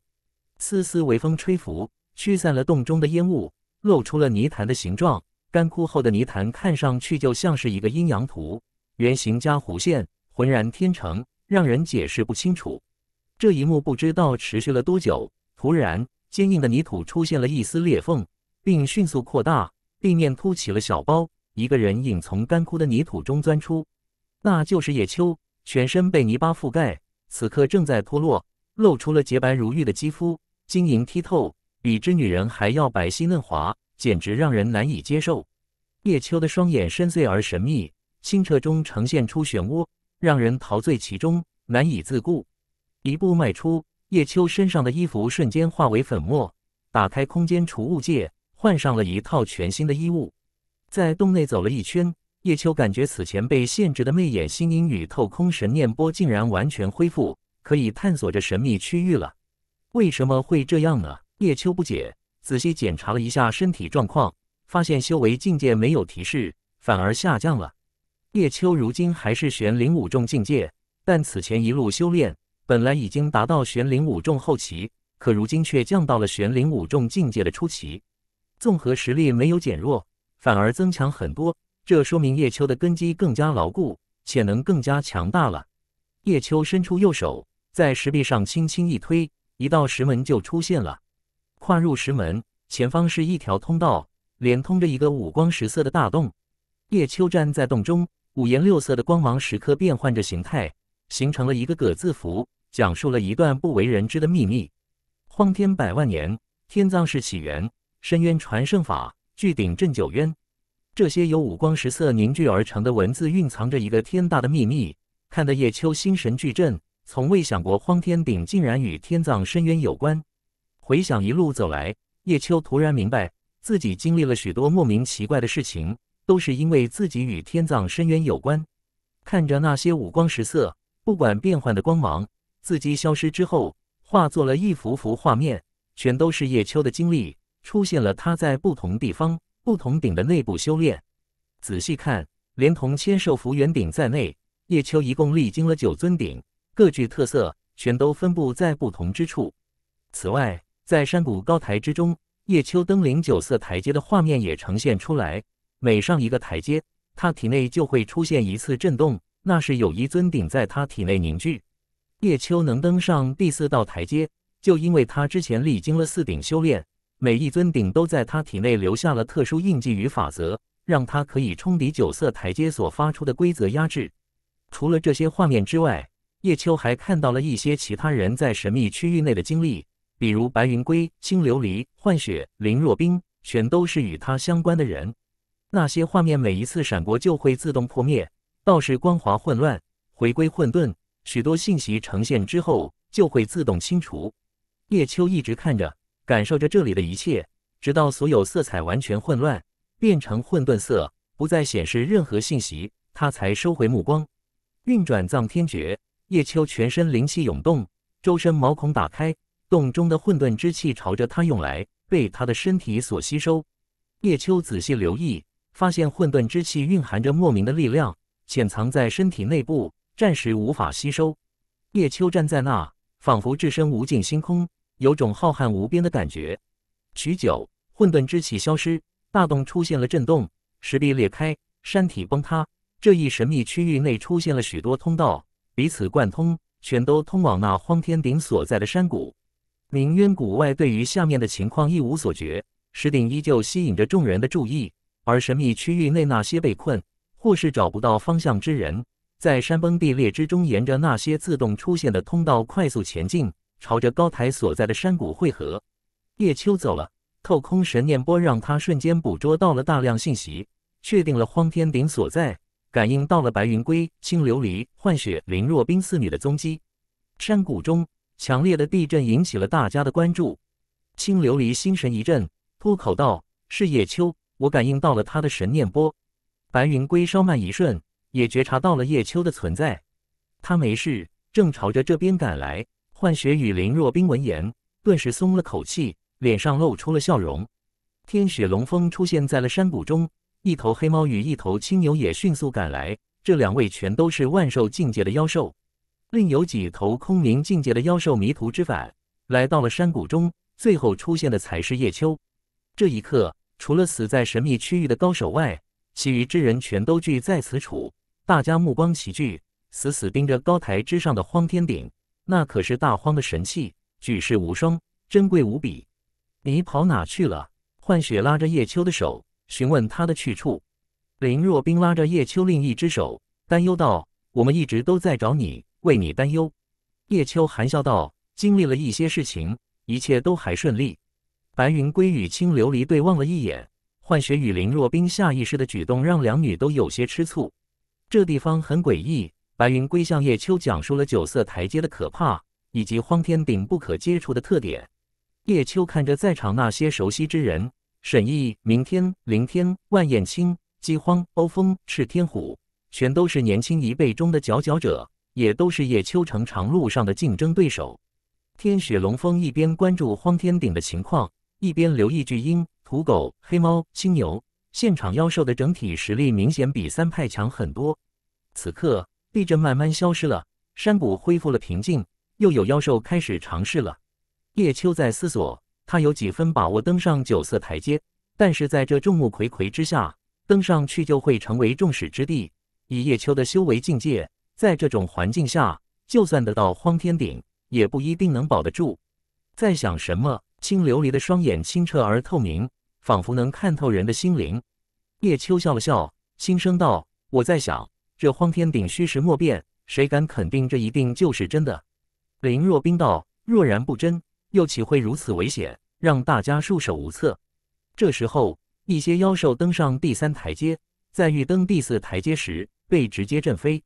万兽境界的黑猫见状，一闪便出现在了九色台阶前，绕着高台走了一圈。随后开始登台，一阶、两阶、三阶，黑猫都很轻松地登了上去。但是在第四台阶时，就显得有些吃力了。奋力一拼，黑猫成功登上了第四台阶，引发了全场的惊叫。这是目前为止第一个登上第四台阶的存在，拥有万兽境界的实力，强大而可怕。叶秋看着黑猫，发现它浑身颤抖的厉害，在第四台阶上站了一会，便匆匆退下。没有去尝试第五台阶，九色台阶在轰鸣，大道符文在闪耀，那就像是一座无法逾越的大山，不允许任何人亵渎它。黑猫之后，巨鹰观望多时，终于忍不住了，亲自出马。他的情况与黑猫差不多，成功登上第四台阶，在一鼓作气准备登临第五台阶时，被直接轰飞，当场身负重伤。九色台阶全面复苏，好似九天之路，威严霸道。没有绝对强悍的实力是无法走上至高无上之路的。土狗、青牛都先后尝试，只能达到第四台阶。天雪龙风全力冲击，也无法登上第五台阶。那一刻，所有人都沉默了。荒天顶就在眼前，但却无人可以得到，这让人心里难受极了。凌天、沈毅都陷入了沉思，在思考其他方法。叶秋在等待，在思考，他没有十足的把握。但是他知道这些人登不上九色台阶，那里的规则限制太强。叶秋的修为境界远远不够，但他可以取巧，这种方法别人用不上，而叶秋一旦用了，就会成为众矢之的，后果也是相当严重的。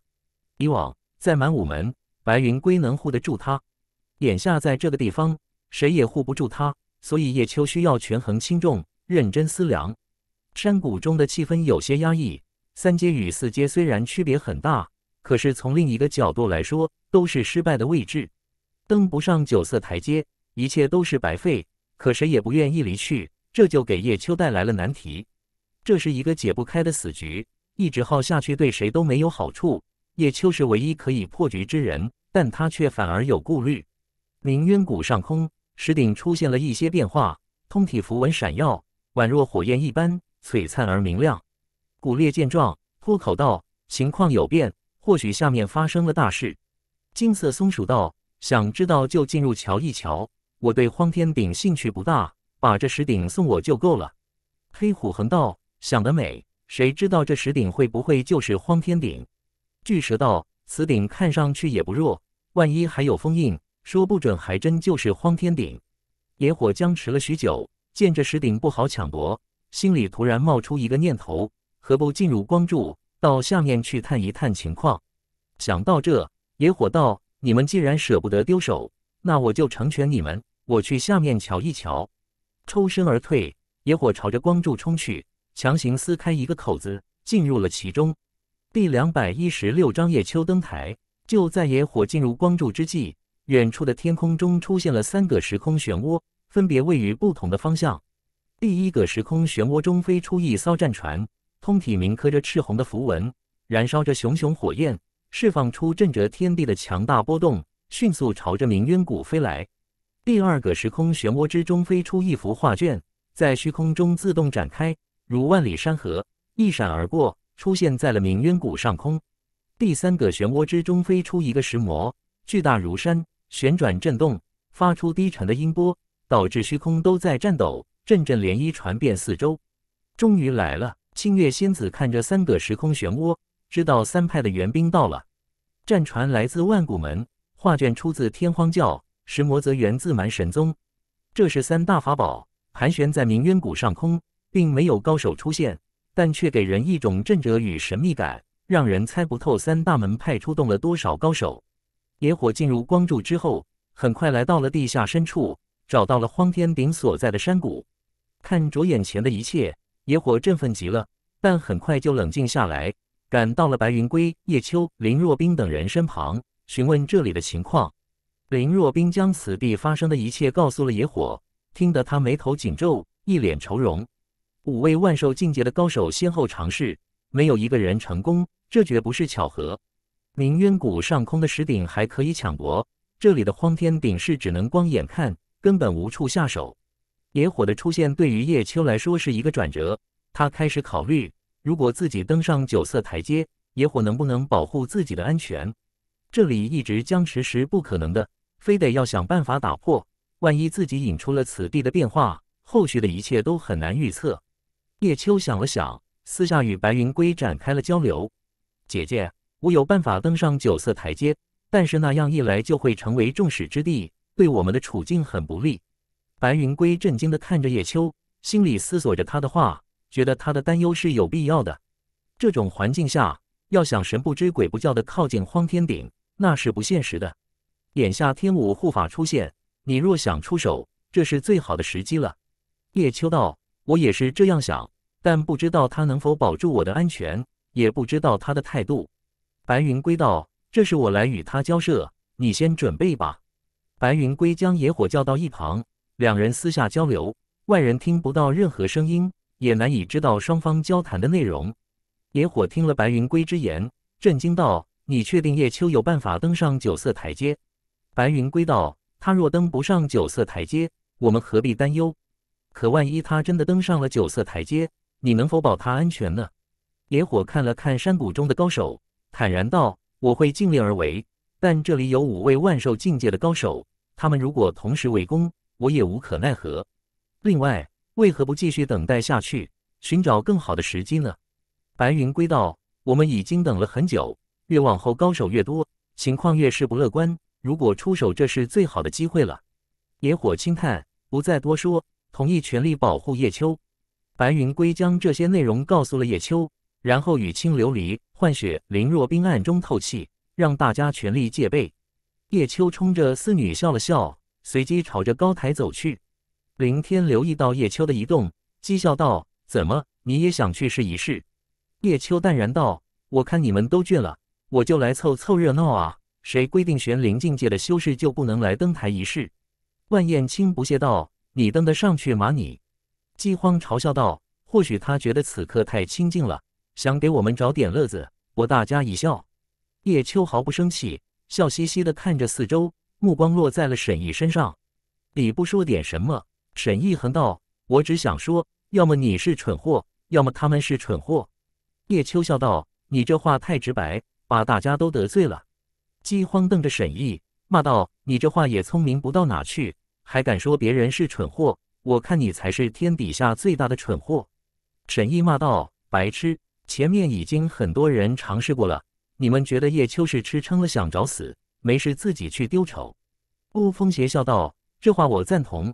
叶秋这家伙看上去并不蠢，他既然敢出手，就多少有一点把握，否则何必当众出丑？”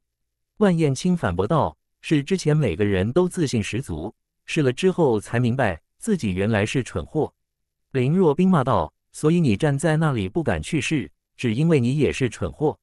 万燕青怒道：“住嘴！你最好给我说话小心点。”否则别怪我不客气。”林若冰冷笑道，“有本事过来，直接把你灭了。”眼下蛮神宗一方有野火在此，形势比人强。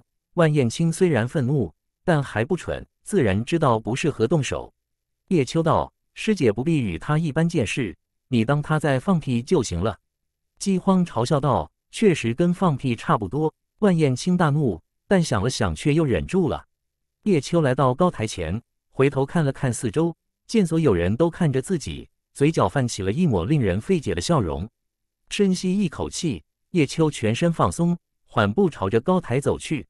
一步，两步，三步，就像是踩在众人的心头，让在场高手都不由得紧张起来。第四步，叶秋的左脚落在了九色台阶的第一道台阶上，右脚收回，叶秋双脚并立站在第一台阶上，感觉就似台阶在震动。第一道台阶上涌现出古老而神秘的符文，缠绕在叶秋身上，将他牢牢束缚。情况似乎与其他人有点不同，林天眼光独到，看出了一些眉目。叶秋没有急于迈出第二步，静静地站在那，直到身体已经熟悉了那些符文印记，体内有一尊鼎凝聚成型，这才抬起右脚，踏出了第二步。这一步很轻松，没有想象中的吃力，自然平和，如履平地。沈毅微眯着双眼，心里涌现出了一丝震惊。野火、天雪、龙风雨四头万兽境界的妖兽都看着叶秋，从他身上感受到了一丝异样的波动。叶秋在第二道台阶上停留了一炷香的时间，第二尊鼎在体内成型，汇聚天道法则，玄妙莫测。随后开始了第三步。那一刻，所有人都紧张起来，因为根据大家的推断，需要具备空明境界的实力，才能登上第三道台阶。叶秋仅仅是玄灵五重，根本就不可能登上那一步。然而结果让无数人惊呼，也有不少人欢呼。叶秋成功登上了第三道台阶。稳稳地站在那，怎么可能？他到底是怎么做到的？有高手直问，但却没人知道缘由。白云归、青琉璃、林若冰、幻雪四女都十分高兴。他们虽然不解，但都明白叶秋身上有着太多不为人知的秘密，用不着去追问太多。这一次，叶秋在第三道台阶上站了足有两炷香的功夫，脚下数不尽的神纹符印缠绕在他身上，九色台阶在轰鸣。震动中释放出玄妙波动，可惜外人并不懂。叶秋体内对应的第三尊鼎出现，凝聚的天道法则与此前两尊鼎完全不同。叶秋抬起右脚，落在了第四道台阶上，身体猛然用力，一下子就登了上去，引发了无数惊呼。那是万兽境界的高手才能涉足的第四道台阶，叶秋竟然成功了。凌天、沈毅、饥荒、万燕青、欧风、赤天虎等人都露出了异色，有不甘，有嫉妒，更多的是搞不懂。叶秋登上第四台阶后，整个高台都在轰鸣震动，数不尽的神纹符印从第一道台阶往上涌，一直到第四台阶，汇聚在叶秋身上，将他完全包裹，死死的困在那。白云归、林若冰、幻雪、青琉璃等四女都不免紧张起来。天武护法野火也是暗自担忧，祈祷叶秋能平安无事，登上九色台阶，夺下荒天鼎，为满神宗立下盖世奇功。叶秋这一次逗留了三炷香的时间，体内的第四尊鼎出现，快速凝聚全新的天道法则，潜藏在身体内部。随后，叶秋挣脱了身上的符文束缚，开始朝着第五道台阶迈进。这一步至关重要，在场有六位万兽境界的高手，全都瞪大了眼睛。不敢置信地看着叶秋，因为从之前的情况推断，万兽境界的高手都无法登上第五道台阶，可叶秋却敢于尝试，他是凭什么？先不论是否成功，就凭叶秋的这份勇气，就足以让在场之人佩服。第五道台阶符文交织，有闪电霹雳、雷霆万钧，那种神威让人恐惧，稍不小心就会心神俱裂，神识毁灭。叶秋境界不高。在强登第五道台阶时，遭到了可怕的规则之力压制，眼看就要承受不起之际，体内冲出一股神秘之力，冲抵了那种规则之力，让他猛然挣脱了束缚，一下子站在了第五道台阶之上。高台在震动，山谷中惊呼四起，所有人都激动起来，不管是因为兴奋还是因为嫉妒。叶秋创造了一个奇迹，登上了前所未有的第五道台阶，让所有人都看到了希望。站在那里，叶秋表情奇异，体内有一尊鼎在聚合，与九色台阶之间产生了莫名的感应力，外人看不出，但叶秋却十分清楚。第两百一十七章吉凶相伴。这一次，叶秋在第五道台阶上足足站了一个时辰，身上的神纹符印才慢慢褪去，朝着第六道台阶迈进。九色台阶上留下了叶秋的足迹，清晰而奇特，这是别人无法办到的。林天脸色阴沉。冷冷道：“他竟然找到了破解之策，真是运气不错。”万燕青脸色铁青，叶秋的表现太过出色，淹没了其他天才的光芒，让他很是不服。饥荒闭口不语，眼中流露出一丝寒意。叶秋登上了第六道台阶，体内涌出一股诡秘之力，抵御住了那种无上压迫。站在第六道台阶上，叶秋身体在轻轻颤抖，体内对应的第六尊鼎在凝聚，内部有法则形成。与九色台阶之间相辅相成，彼此结合。五炷香的时间悄然而过，叶秋睁开眼睛，迈出了下一步。到了这时候，大家已经有了一种明悟：叶秋肯定能登上九色台阶，只是每一次停留的时间越来越长了。叶秋登上第七道台阶，身后留下了六道清晰的足印，述说着他之前的行进轨迹。九色台阶释放出恐怖波动，那种力量摧枯拉朽，逼得四周的高手纷纷退后，脸上露出了惊容。叶秋体内出现了一尊全新的鼎，那是对应的第七尊鼎，耗时一个半时辰才冲顶了九色台阶所释放出来的威压，并彼此结合，形成了全新的规则，潜藏在叶秋的身体内部。当叶秋登上第八道台阶时，所有人都露出了期盼之色。虽然很多人嫉妒，但经过这么久的时间考虑，大家都转变了想法。只要叶秋能够将荒天鼎从那高台之上带走，就可以在其他地方抢夺，这比干眼看要强很多。林天宇沈毅就是把叶秋当成可以利用的棋子，一旦荒天鼎离开这高台，他们就会出手抢夺。在场万兽境界的高手也是这样想的。真正担忧的反而是野火，因为他要想护住叶秋，责任重要，实力不足。叶秋站在第八道台阶上，近距离的看着荒天鼎，那感觉很奇怪。这鼎就像是天道规则所化，虚而不实，看得见摸不着。叶秋体内第八尊鼎在凝聚，演化全新的法则，与此前七尊鼎所凝聚的天道法则完全不一样，那是一个全新的领域。虽然叶秋眼下还无法领悟。但是他心里知道，迟早有一天，这些法则对自己有用。闭上眼睛，叶秋在仔细体悟。等到他等开眼界，吸炷香的时间已经过去了。那一刻，叶秋突然回头环顾四周，明亮的双眼绽放出迷人的神采，似乎在向大家宣布：我即将踏出最后一步。高台九阶，色彩不同，蕴含天地法则，压制天道万物。没人可以登顶。那代表着天威莫测，可叶秋却走到了这一步。虽然是取巧，但他至少有了那种俯视天下的视角，可以睥睨天下，傲视苍穹。林若冰突然大声道：“叶秋，加油！”幻雪、青琉璃、白云龟都在朝着叶秋挥手，他们没有说什么，但眼神中却流露出太多的情绪波动。叶秋含笑点头，回身看着荒天顶，毅然迈出了最后一步。那一刻。整个高台喷发出九色火焰，震动之音回荡四周，让虚空都在崩塌，时空都在倒流。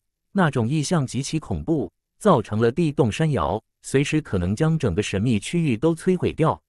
最后一阶至高不跃，叶秋即便有取巧之能，也遭受到了前所未有的打压，身体在剧烈颤抖，体内冲出一股强大而神秘之力，那是一种天道法则，在对抗九色台阶之上的规则束缚。叶秋意志坚定，拼尽所有。虽然只是一步之遥，但却感觉好似万年之久。历经了磨难，耗尽了心血，最终付出一切，才终于站在了第九道台阶之上。山谷中，震天的尖叫与欢呼回荡不休，就连仇视叶秋之人都发出了大叫，释放出了心中的渴求。叶秋站在最高的台阶上，身体在剧烈颤抖，口中鲜血外溢。浑浊的双眼透射出一股坚定之色，一尊鼎在叶秋体内快速凝聚，内部符文演化，构建全新的天道法则，涉及到很深层次的领域。叶秋大部分都不懂，但他却努力的领悟。这一过程持续了两个时辰，叶秋颤抖的身体才逐渐平复，苍白的脸上露出了一抹苦涩。这九色台阶远比想象中还要恐怖。运转藏天诀。叶秋开始吞吐九色台阶上的各种符文印记，那里面蕴含着惊世伟力，也只有叶秋这种体质才能够吸收。转身，叶秋看着白云龟、林若冰、青琉璃、幻雪四女，脸色有些激动。站在这儿是一种荣誉，登顶极致，傲视苍穹，预示着叶秋有朝一日也能像今日一般，站在世界的最顶端，成为万众瞩目的至高王者。这一刻。九色台阶的象征意义比实际意义大很多。虽然凌天、沈毅、饥荒、万燕青、欧风、赤天虎等人不愿意承认，但在场所有高手都知道，这一刻的荣耀属于叶秋。他身上的光芒把所有人都压下去了。白云归、青琉璃、幻雪、林若冰四人激动极了。那个站在荒塔顶旁，睥睨天下的身影，就是他们的骄傲，是他们最足牵挂的人儿。野火也很激动。若不是强行压制，早就发出了欢呼。天雪龙凤、巨鹰、土狗、黑猫、青牛开始移动，选择最佳的出手方位，随时准备出手抢夺。叶秋心情闪过许多念头，这一刻万众瞩目，加入荒天鼎落在他手中，以他如今的修为境界来说，那就是怀璧其罪，根本保不住。若是让他拱手于人，叶秋还做不到那么潇洒从容。所以此时此刻，他犹豫了，背对着荒天顶，也在第九道台阶上走了一圈，一边留意在场高手的一举一动，一边趁机思考下一步。转身，叶秋停下脚步。看着近在咫尺的荒天顶，发现它通体符文交织，形成了许多深奥的印记，蕴含着无上奥秘。叶秋深吸一口气，诸多对策在脑海中一闪而过，最终还是决定试一试，暂时不去管太多。荒天顶看上去很虚幻，高约三丈，气象万千，有混沌之气弥漫。叶秋绕着它走了一圈又一圈，足足走了九圈，才又再次停下。荒天顶三足两耳一口。这是道生一，一生二，二生三，三生万物的逆转，代表着汇聚与融合，是万法的承载体，鼎足天下，万法一炉。叶秋缓缓伸出左手，稍后又伸出右手，双掌同时按在那鼎身之上，就像是触碰到了九天之上的天道烘炉，引发了天道反噬，猛然粘住了叶秋的双手。那一刻，叶秋浑身颤抖，俊美的脸上露出了痛苦之色。这让台下的白云龟、青琉璃、幻雪、林若冰都发出了担忧的惊呼。叶秋的双掌被一道道符文神链缠住，死死粘贴在鼎身之上，让他脱身不得。虚幻不实的荒天顶在震动，释放出破灭天地的恐怖威慑，导致九色台阶出现了裂缝，光阴腐蚀之力开始侵袭叶秋。很多人都记得，第一头妖兽就是因为接触到荒天顶而被光阴腐蚀老化，变成了粉末。如今，叶秋似乎也走上了这一步，全身在剧烈颤抖，脸色痛苦，发出了嘶吼，双手被死死粘住，根本无法抽出。叶秋体内九尊鼎先后显化出来，代表着九大领域的天道法则开始融合，共同对抗荒天鼎所释放出来的毁灭光波。同时，叶秋体内的恶藏天诀高速运转，伴随着万古诀与天荒诀，激发叶秋的潜能，全力与荒天鼎抗衡。叶秋不知道为什么会这样，危险关头出于本能的反应，他开始动用一切的力量。这其中就牵扯到了古印与荒印，关系到万古诀与天荒诀。叶秋全力抗衡，但危险并没有丝毫减弱。在万般无奈之下，他只得沟通混沌地仙花，开启体内九十九道仙门，释放出强大的仙元之力。那一刻，荒天顶出现了剧烈震动，鼎身之上符文汇聚。迅速朝着叶秋涌去，万古诀与天荒诀在这种情况下竟然出现了融合，这是叶秋怎么也不曾想到的。万古天荒彼此结合，将形成荒古至尊诀，但那需要将万古诀与天荒诀修炼到极高境界，方能慢慢融合。以叶秋眼下玄灵五重境界的实力，他从未想过会出现这一幕，但荒天顶的异变却给他带来了莫大的高出。这种异变与叶秋体内的混沌地仙花有关，与那九十九道仙门有关，说穿了就是与天葬深渊有关。外人并不知晓这一切，很多人都认定叶秋死定了。白云归、林若冰等四女则无比担忧，可他们却插不上手。这一刻，没有任何人能够帮助叶秋，他只能自求多福。高台之上，叶秋口中鲜血狂涌，荒天鼎在疯狂的震动，莫名之力笼罩着叶秋的身体。引发了彼此间的异变，但一直未曾摆脱。叶秋精神绷紧，他感觉到荒天顶上有奇异的力量涌入体内，如催化剂一般，加速万古诀与天荒诀的融合，让他们彼此结合，形成了荒古至尊诀，解开了古印与荒印上的某种封印与束缚。第两百一十八章双鼎融合。这一幕并没有持续太久，荒天顶的震动之力越来越强，九色台阶在分解。叶秋被粘住的双手出现了松动的痕迹，不一会就被强大的冲击波给震飞了。那一刻，荒天顶震动九幽，虚实莫辨的他突然射出一道催促的光柱，直通天际，将上方的天幕洞穿。呼啸一声，便冲天而起。九色台阶分解成了四块，刷刷刷的遁入虚空，不见了影踪。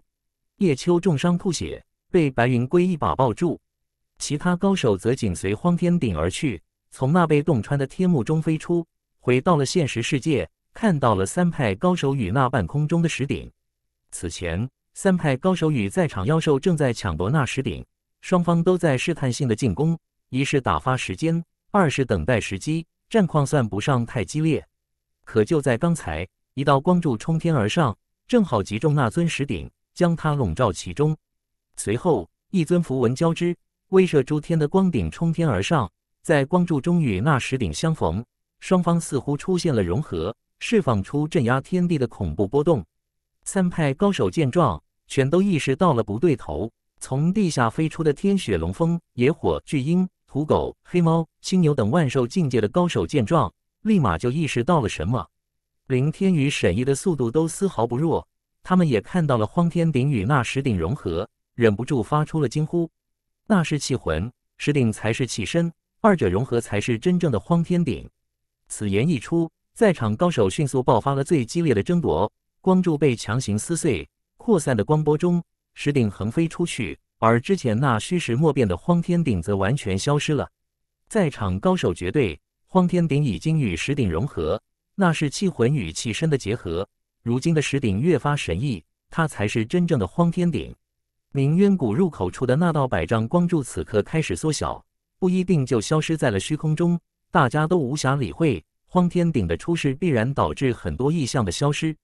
白云龟抱着重伤的叶秋冲出地面，身后跟着青琉璃、幻雪与林若冰四女，脸色都有些担忧。主要是叶秋伤得太重，而荒天鼎却又没有到手，这似乎是白忙了一场。但好处是不会成为众矢之的，也算是焉知非福。远古看到白云龟与林若冰出现，连忙大叫道：“师姐，这边！”半空中全都是万兽境界的高手在交锋。那个区域空明境界的高手根本不敢靠拢，只能在外围关注。白云龟带着叶秋来到远古身旁，林若冰问起了这里的情况。远古道：“刚才一道光柱拔地而起，正好击中那石鼎。后来一尊鼎从地下飞出，与石鼎融合。现在三派与妖族的万兽境界高手正在拼命抢夺。”幻雪惊异道：“这两者合一才是荒天鼎。”青琉璃道。气魂与气身份开的情况很常见，但这不能肯定眼前的石鼎就一定是荒天鼎。白云龟看着怀中的叶秋，问道：“你之前触碰过荒天鼎，你觉得它是真实存在的吗？”叶秋摇头道：“不是实体，也不是投影，而是由天道法则而成。”远古问候了一下叶秋的伤势，随口道：“那你觉得这石鼎会是荒天鼎吗？”叶秋看着半空的石鼎，它通体闪烁着璀璨之光。强如万兽境界的高手，只要触碰到他的顶身，就会被瞬间击飞，身负重伤，容颜衰老。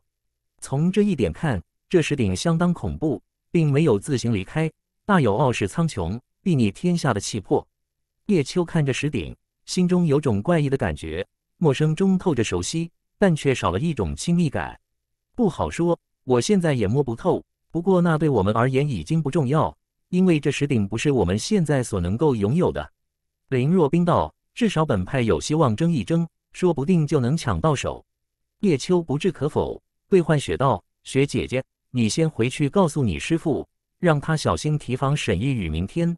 那天老的尸体就在明天身上，一旦施展出来，万兽境界的高手根本就抵挡不住。”幻雪道：“行，我这就过去，你躲注意身体。”青琉璃跟着幻雪一起离开。回到了天荒教那边去，叶秋服下一株灵药，挣脱了白云龟的怀抱，低声道：“姐姐，我想去明渊谷中走一趟。”白云龟惊愕道：“现在？”叶秋道：“这里没我们什么事情。石鼎若真是荒天鼎，这些人也抢不走，所以我们可以先去明渊谷中走一走。”白云龟道：“也好，我陪你下去，他们就暂且留在这。”林若冰没有说什么。眼下抢夺荒天鼎才是最重要的，他要留在这关注。叶秋再一次来到明渊谷中，那座秦冢已经消失了，谷地一片残破，但叶秋却听到了有人在唱歌：“明幽，明幽，何处停留？我身如玉，我心如枯。”凄凉哀婉的歌声让人心灵感触。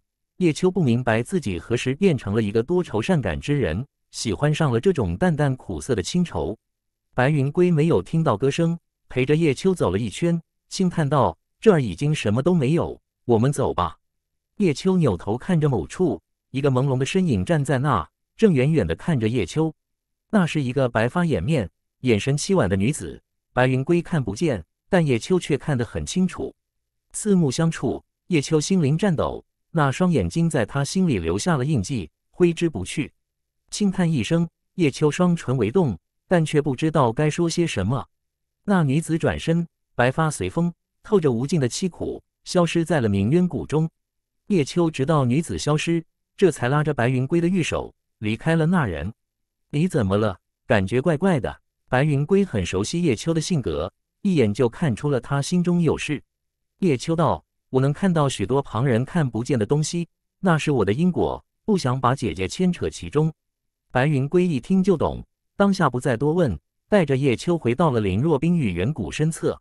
半空中，八头万兽境界的妖兽各展神威。在数量上压制了三派高手，石鼎缓缓转动，洒落一道道光华，融入虚空之中，延伸至四极八荒，引动整个时空，让万物都随着它的起伏而震动。那是一种威慑，卓显石鼎的不凡，让附近的高手都感受到了一种惶恐。万古门的战船，天荒教的画卷，蛮神宗的石魔都不敢靠拢。大家越发的觉得，这就是荒天鼎，正在逐渐显威。有着越来越强的势头。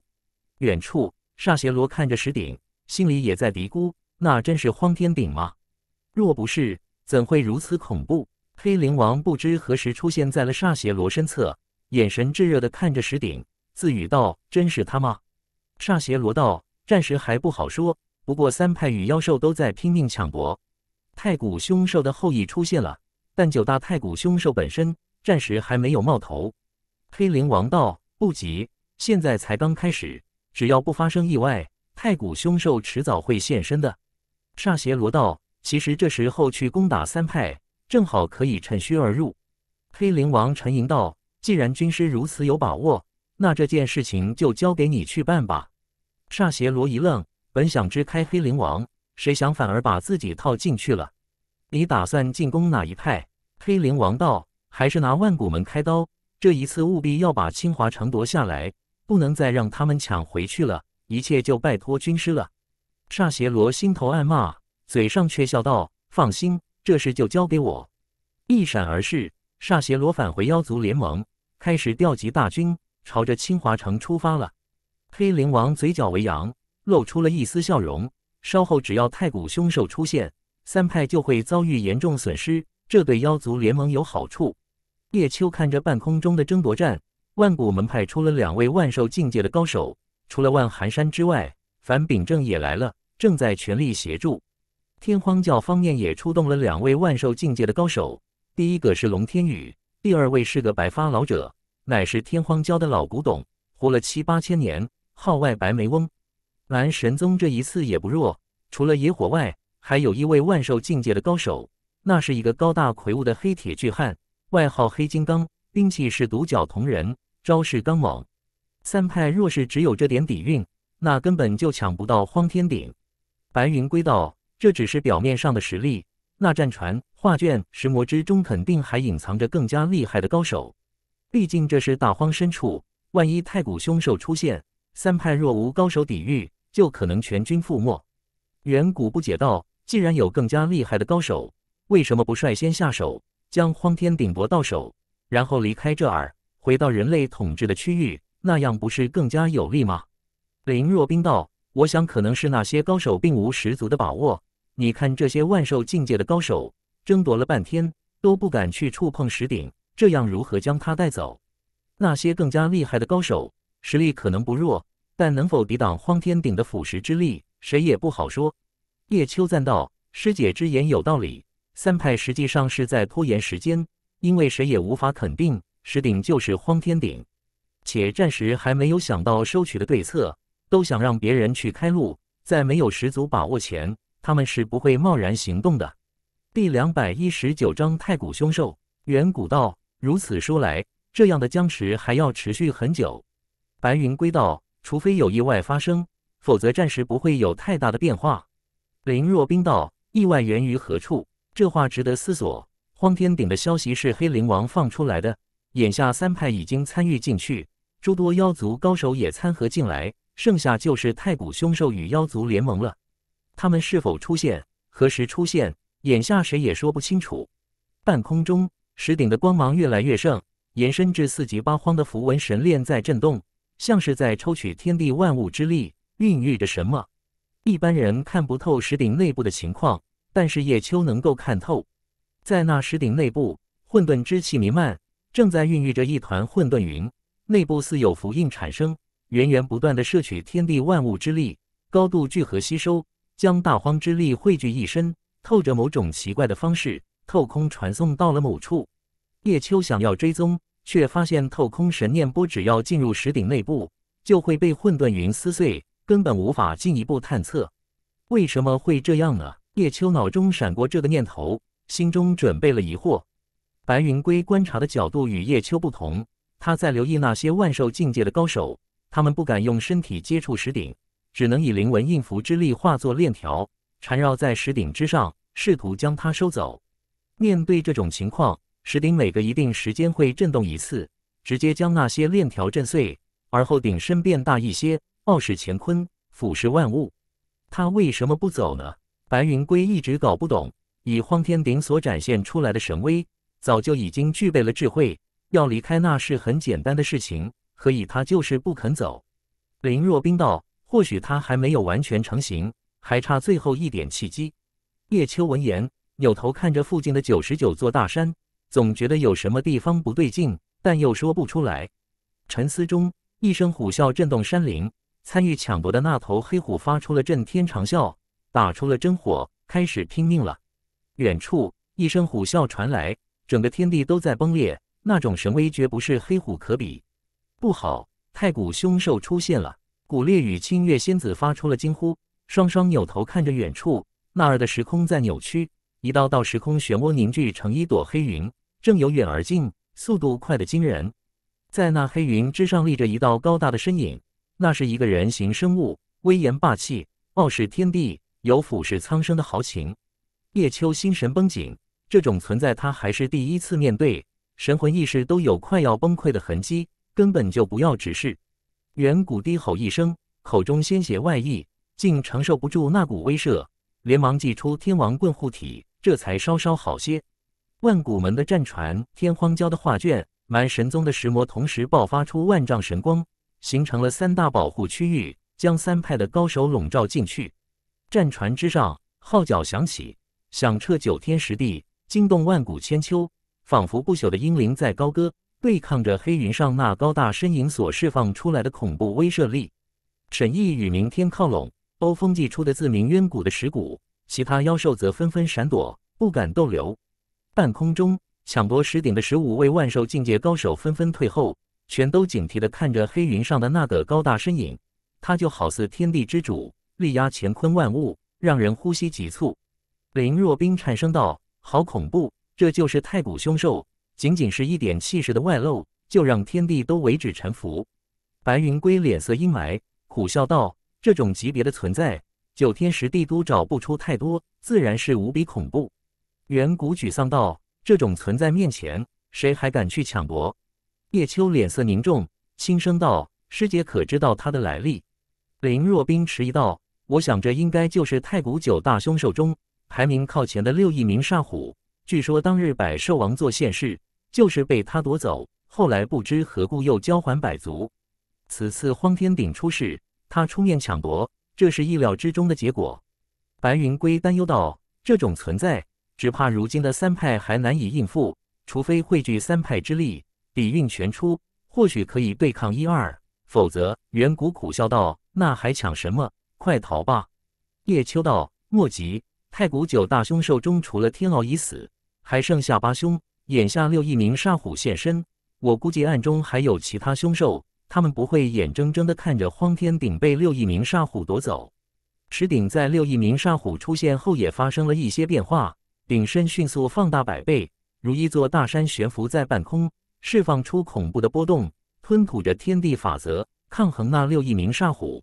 看到这一幕，在场高手心中的疑虑顿时消除，这就是荒天鼎，绝对不会错。否则岂有如此神威，敢与太古凶兽抗衡？黑虎回到了六翼鸣煞虎身侧，变成了一个中年男子，讲述起了之前这里发生的一切。三派在联手对抗六翼鸣沙虎，三大法宝释放出惊天神威，并没有选择退走。六翼鸣沙虎轻哼一声，整个天地都在摇晃，万物都在颤抖。三大法宝剧烈震动，发出的神纹符印在快速崩碎，竟有抵挡不住的迹象。石鼎旋转一圈，发出了一股震动，扩散的震荡波将六翼鸣沙虎的轻横之声撕碎，让天地恢复了清明，镇压山河大地，稳固时空。真不愧是荒天鼎，果然有点特色。六翼鸣沙虎微眯着双眼，额头上的王字闪闪生辉，蕴含神道法则。沈毅看着六翼鸣沙虎。脸色难看极了。太古九大凶兽亲临现场，我们根本就抢不过，连取巧的机会都没有。明天道，现在只能寄望三派门下不要退缩，拼尽一切与六翼鸣煞虎抢夺。沈毅道，三派只怕也拼不过。这一点不止沈毅心中有数，凌天、饥荒、万燕青等人也都心中有数。这是大荒地界，不是三派的势力范围。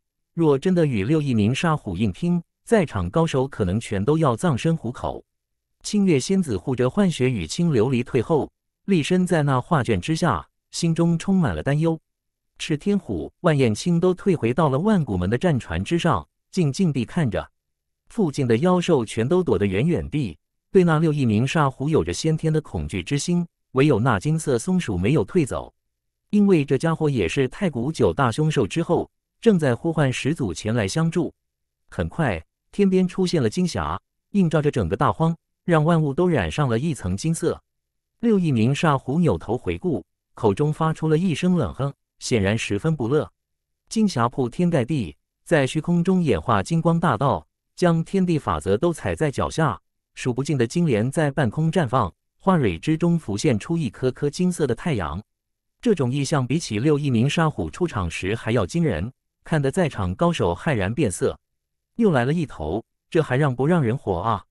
远古大叫，充满了担忧。林若冰道：“这应该是太古九大凶兽中的金睛裂天兽，外形就像松鼠，尾巴是它最厉害的地方，拥有天赋神通裂天经验斩。”金光大道之上，走来了一个金衣老者，个头不高，头发全都是金色，脸上挂着顽皮的笑容，双眼锐利如刀，目光所及，虚空开裂，竟承受不住。长翅膀的。你跑那么快干什么？害得我一阵好追。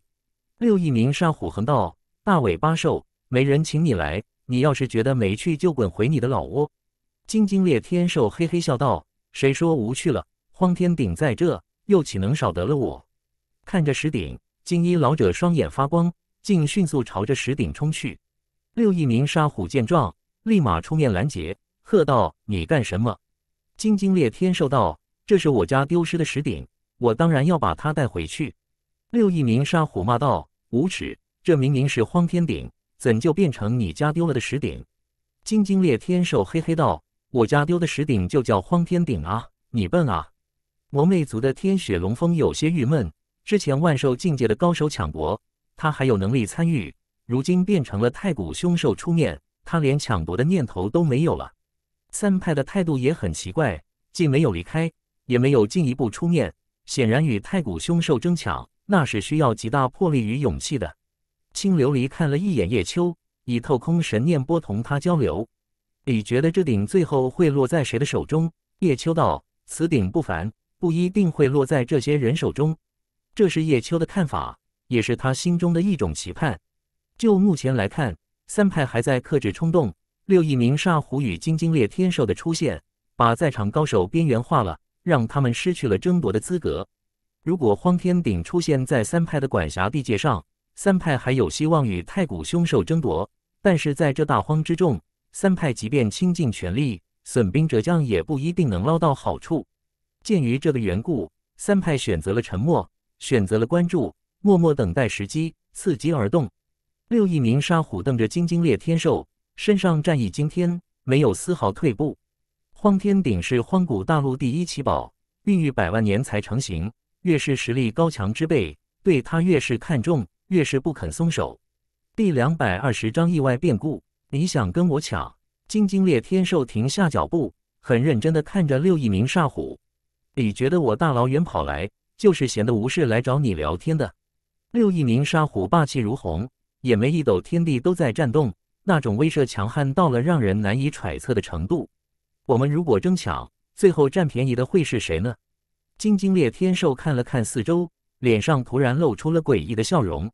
这种事情总是有人吃亏，有人占便宜的。六翼鸣沙虎冷傲自负，并不在意金睛裂天兽的威胁。便宜肯定有人占，但就怕不是你我。金睛裂天兽似乎觉察到了什么，扭头看着某处，黑灵王就站在那人。六翼鸣沙虎看着那个方向，冷笑道：“你以为我会没有觉察到吗？”右臂一挥，虎爪裂天，朝着黑灵王所在的方向抓取，整个天地都在快速缩小，射入他的虎爪之中。面临六翼鸣沙虎的进攻，黑灵王脸色凝重，没有动用百兽王座。而是取出一面令牌，朝着六翼鸣沙虎拍去。那一刻，缩小的天地瞬间挣脱了束缚，一个巨大的令字出现在天空中，力压九天十地，强如太古凶兽都勃然变色。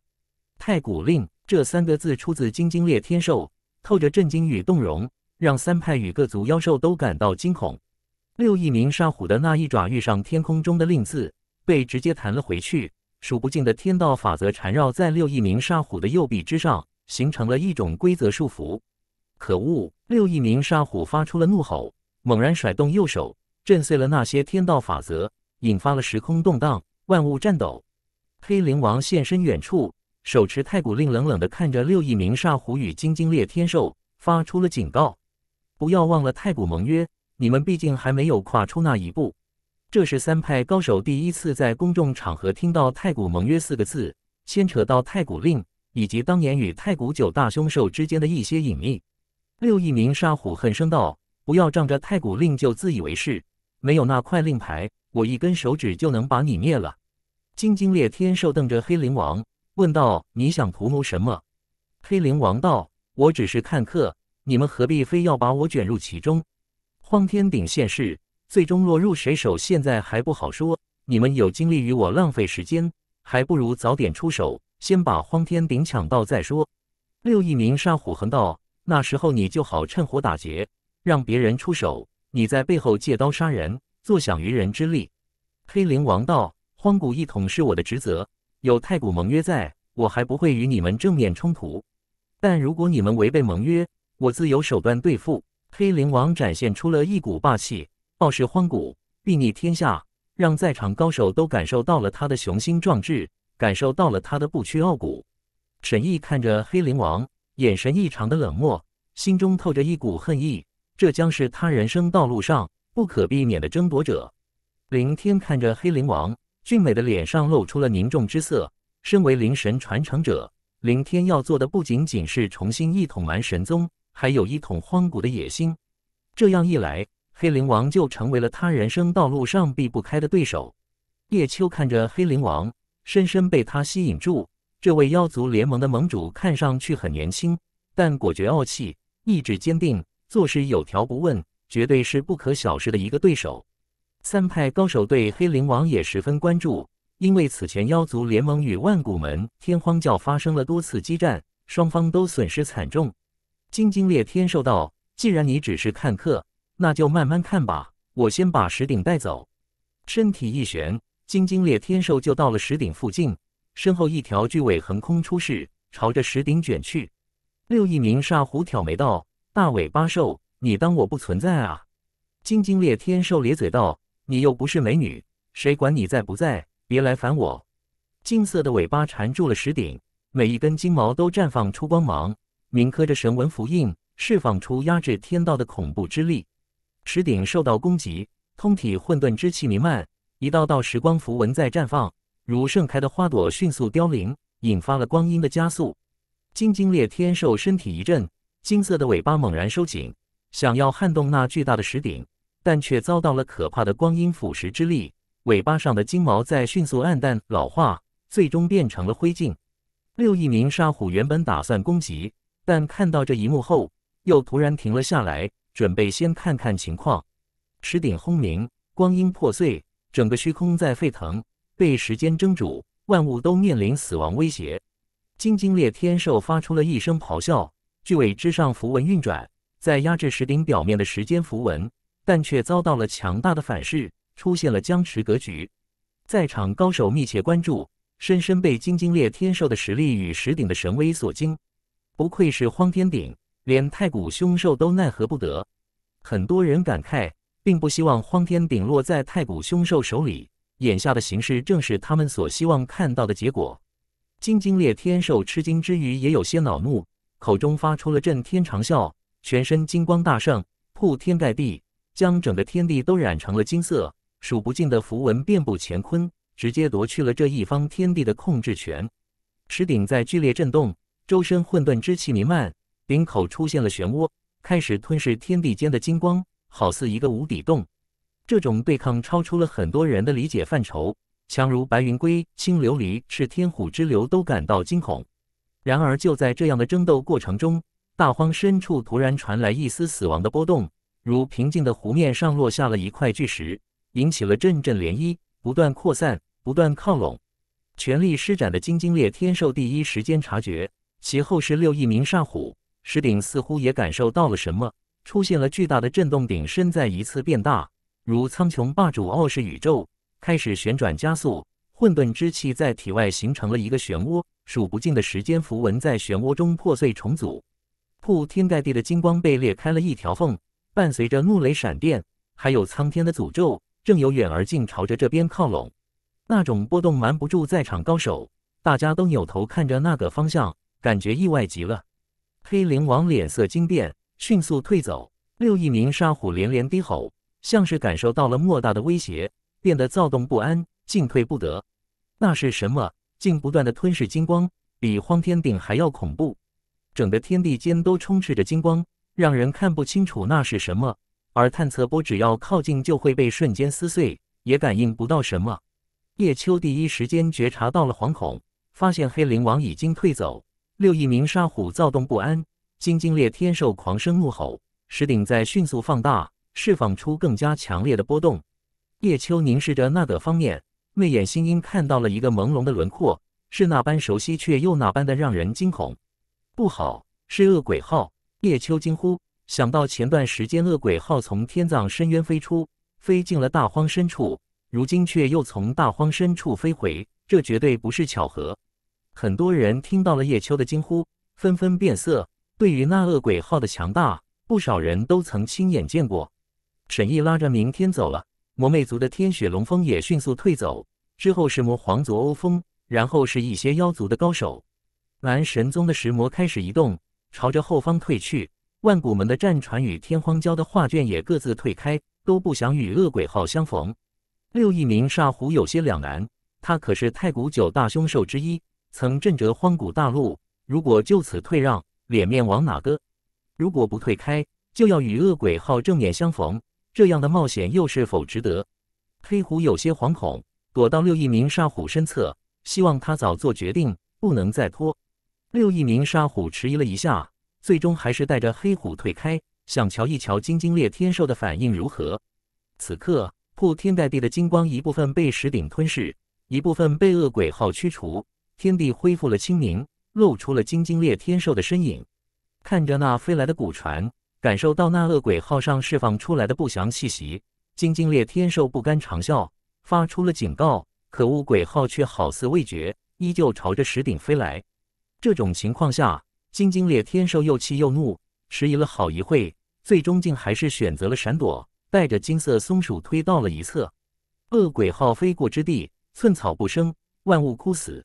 就像是苍天的诅咒，伴随着怒雷闪电，带来了不祥，送来了灾难。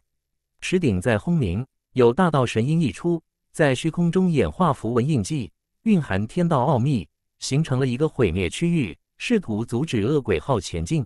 声声厉啸从恶鬼号上传出，好似万古的叹息，破灭一切万物，轻易就冲入石鼎构建的毁灭区域，引发了大面积的爆炸。恶鬼号开始减速。但方向却没有丝毫改变，一直在推进，一直在靠拢。石鼎转动，数不尽的时间符文化作时光潮汐，让虚空都开始凋零，没有任何存在能够抵御得住。恶鬼号通体闪烁着仙道符文，在冲抵光阴之力的侵袭。船头上插着一柄长枪，末端有一颗骷髅头，迎风发出了凄厉的鬼叫，令万物都为之恐慌。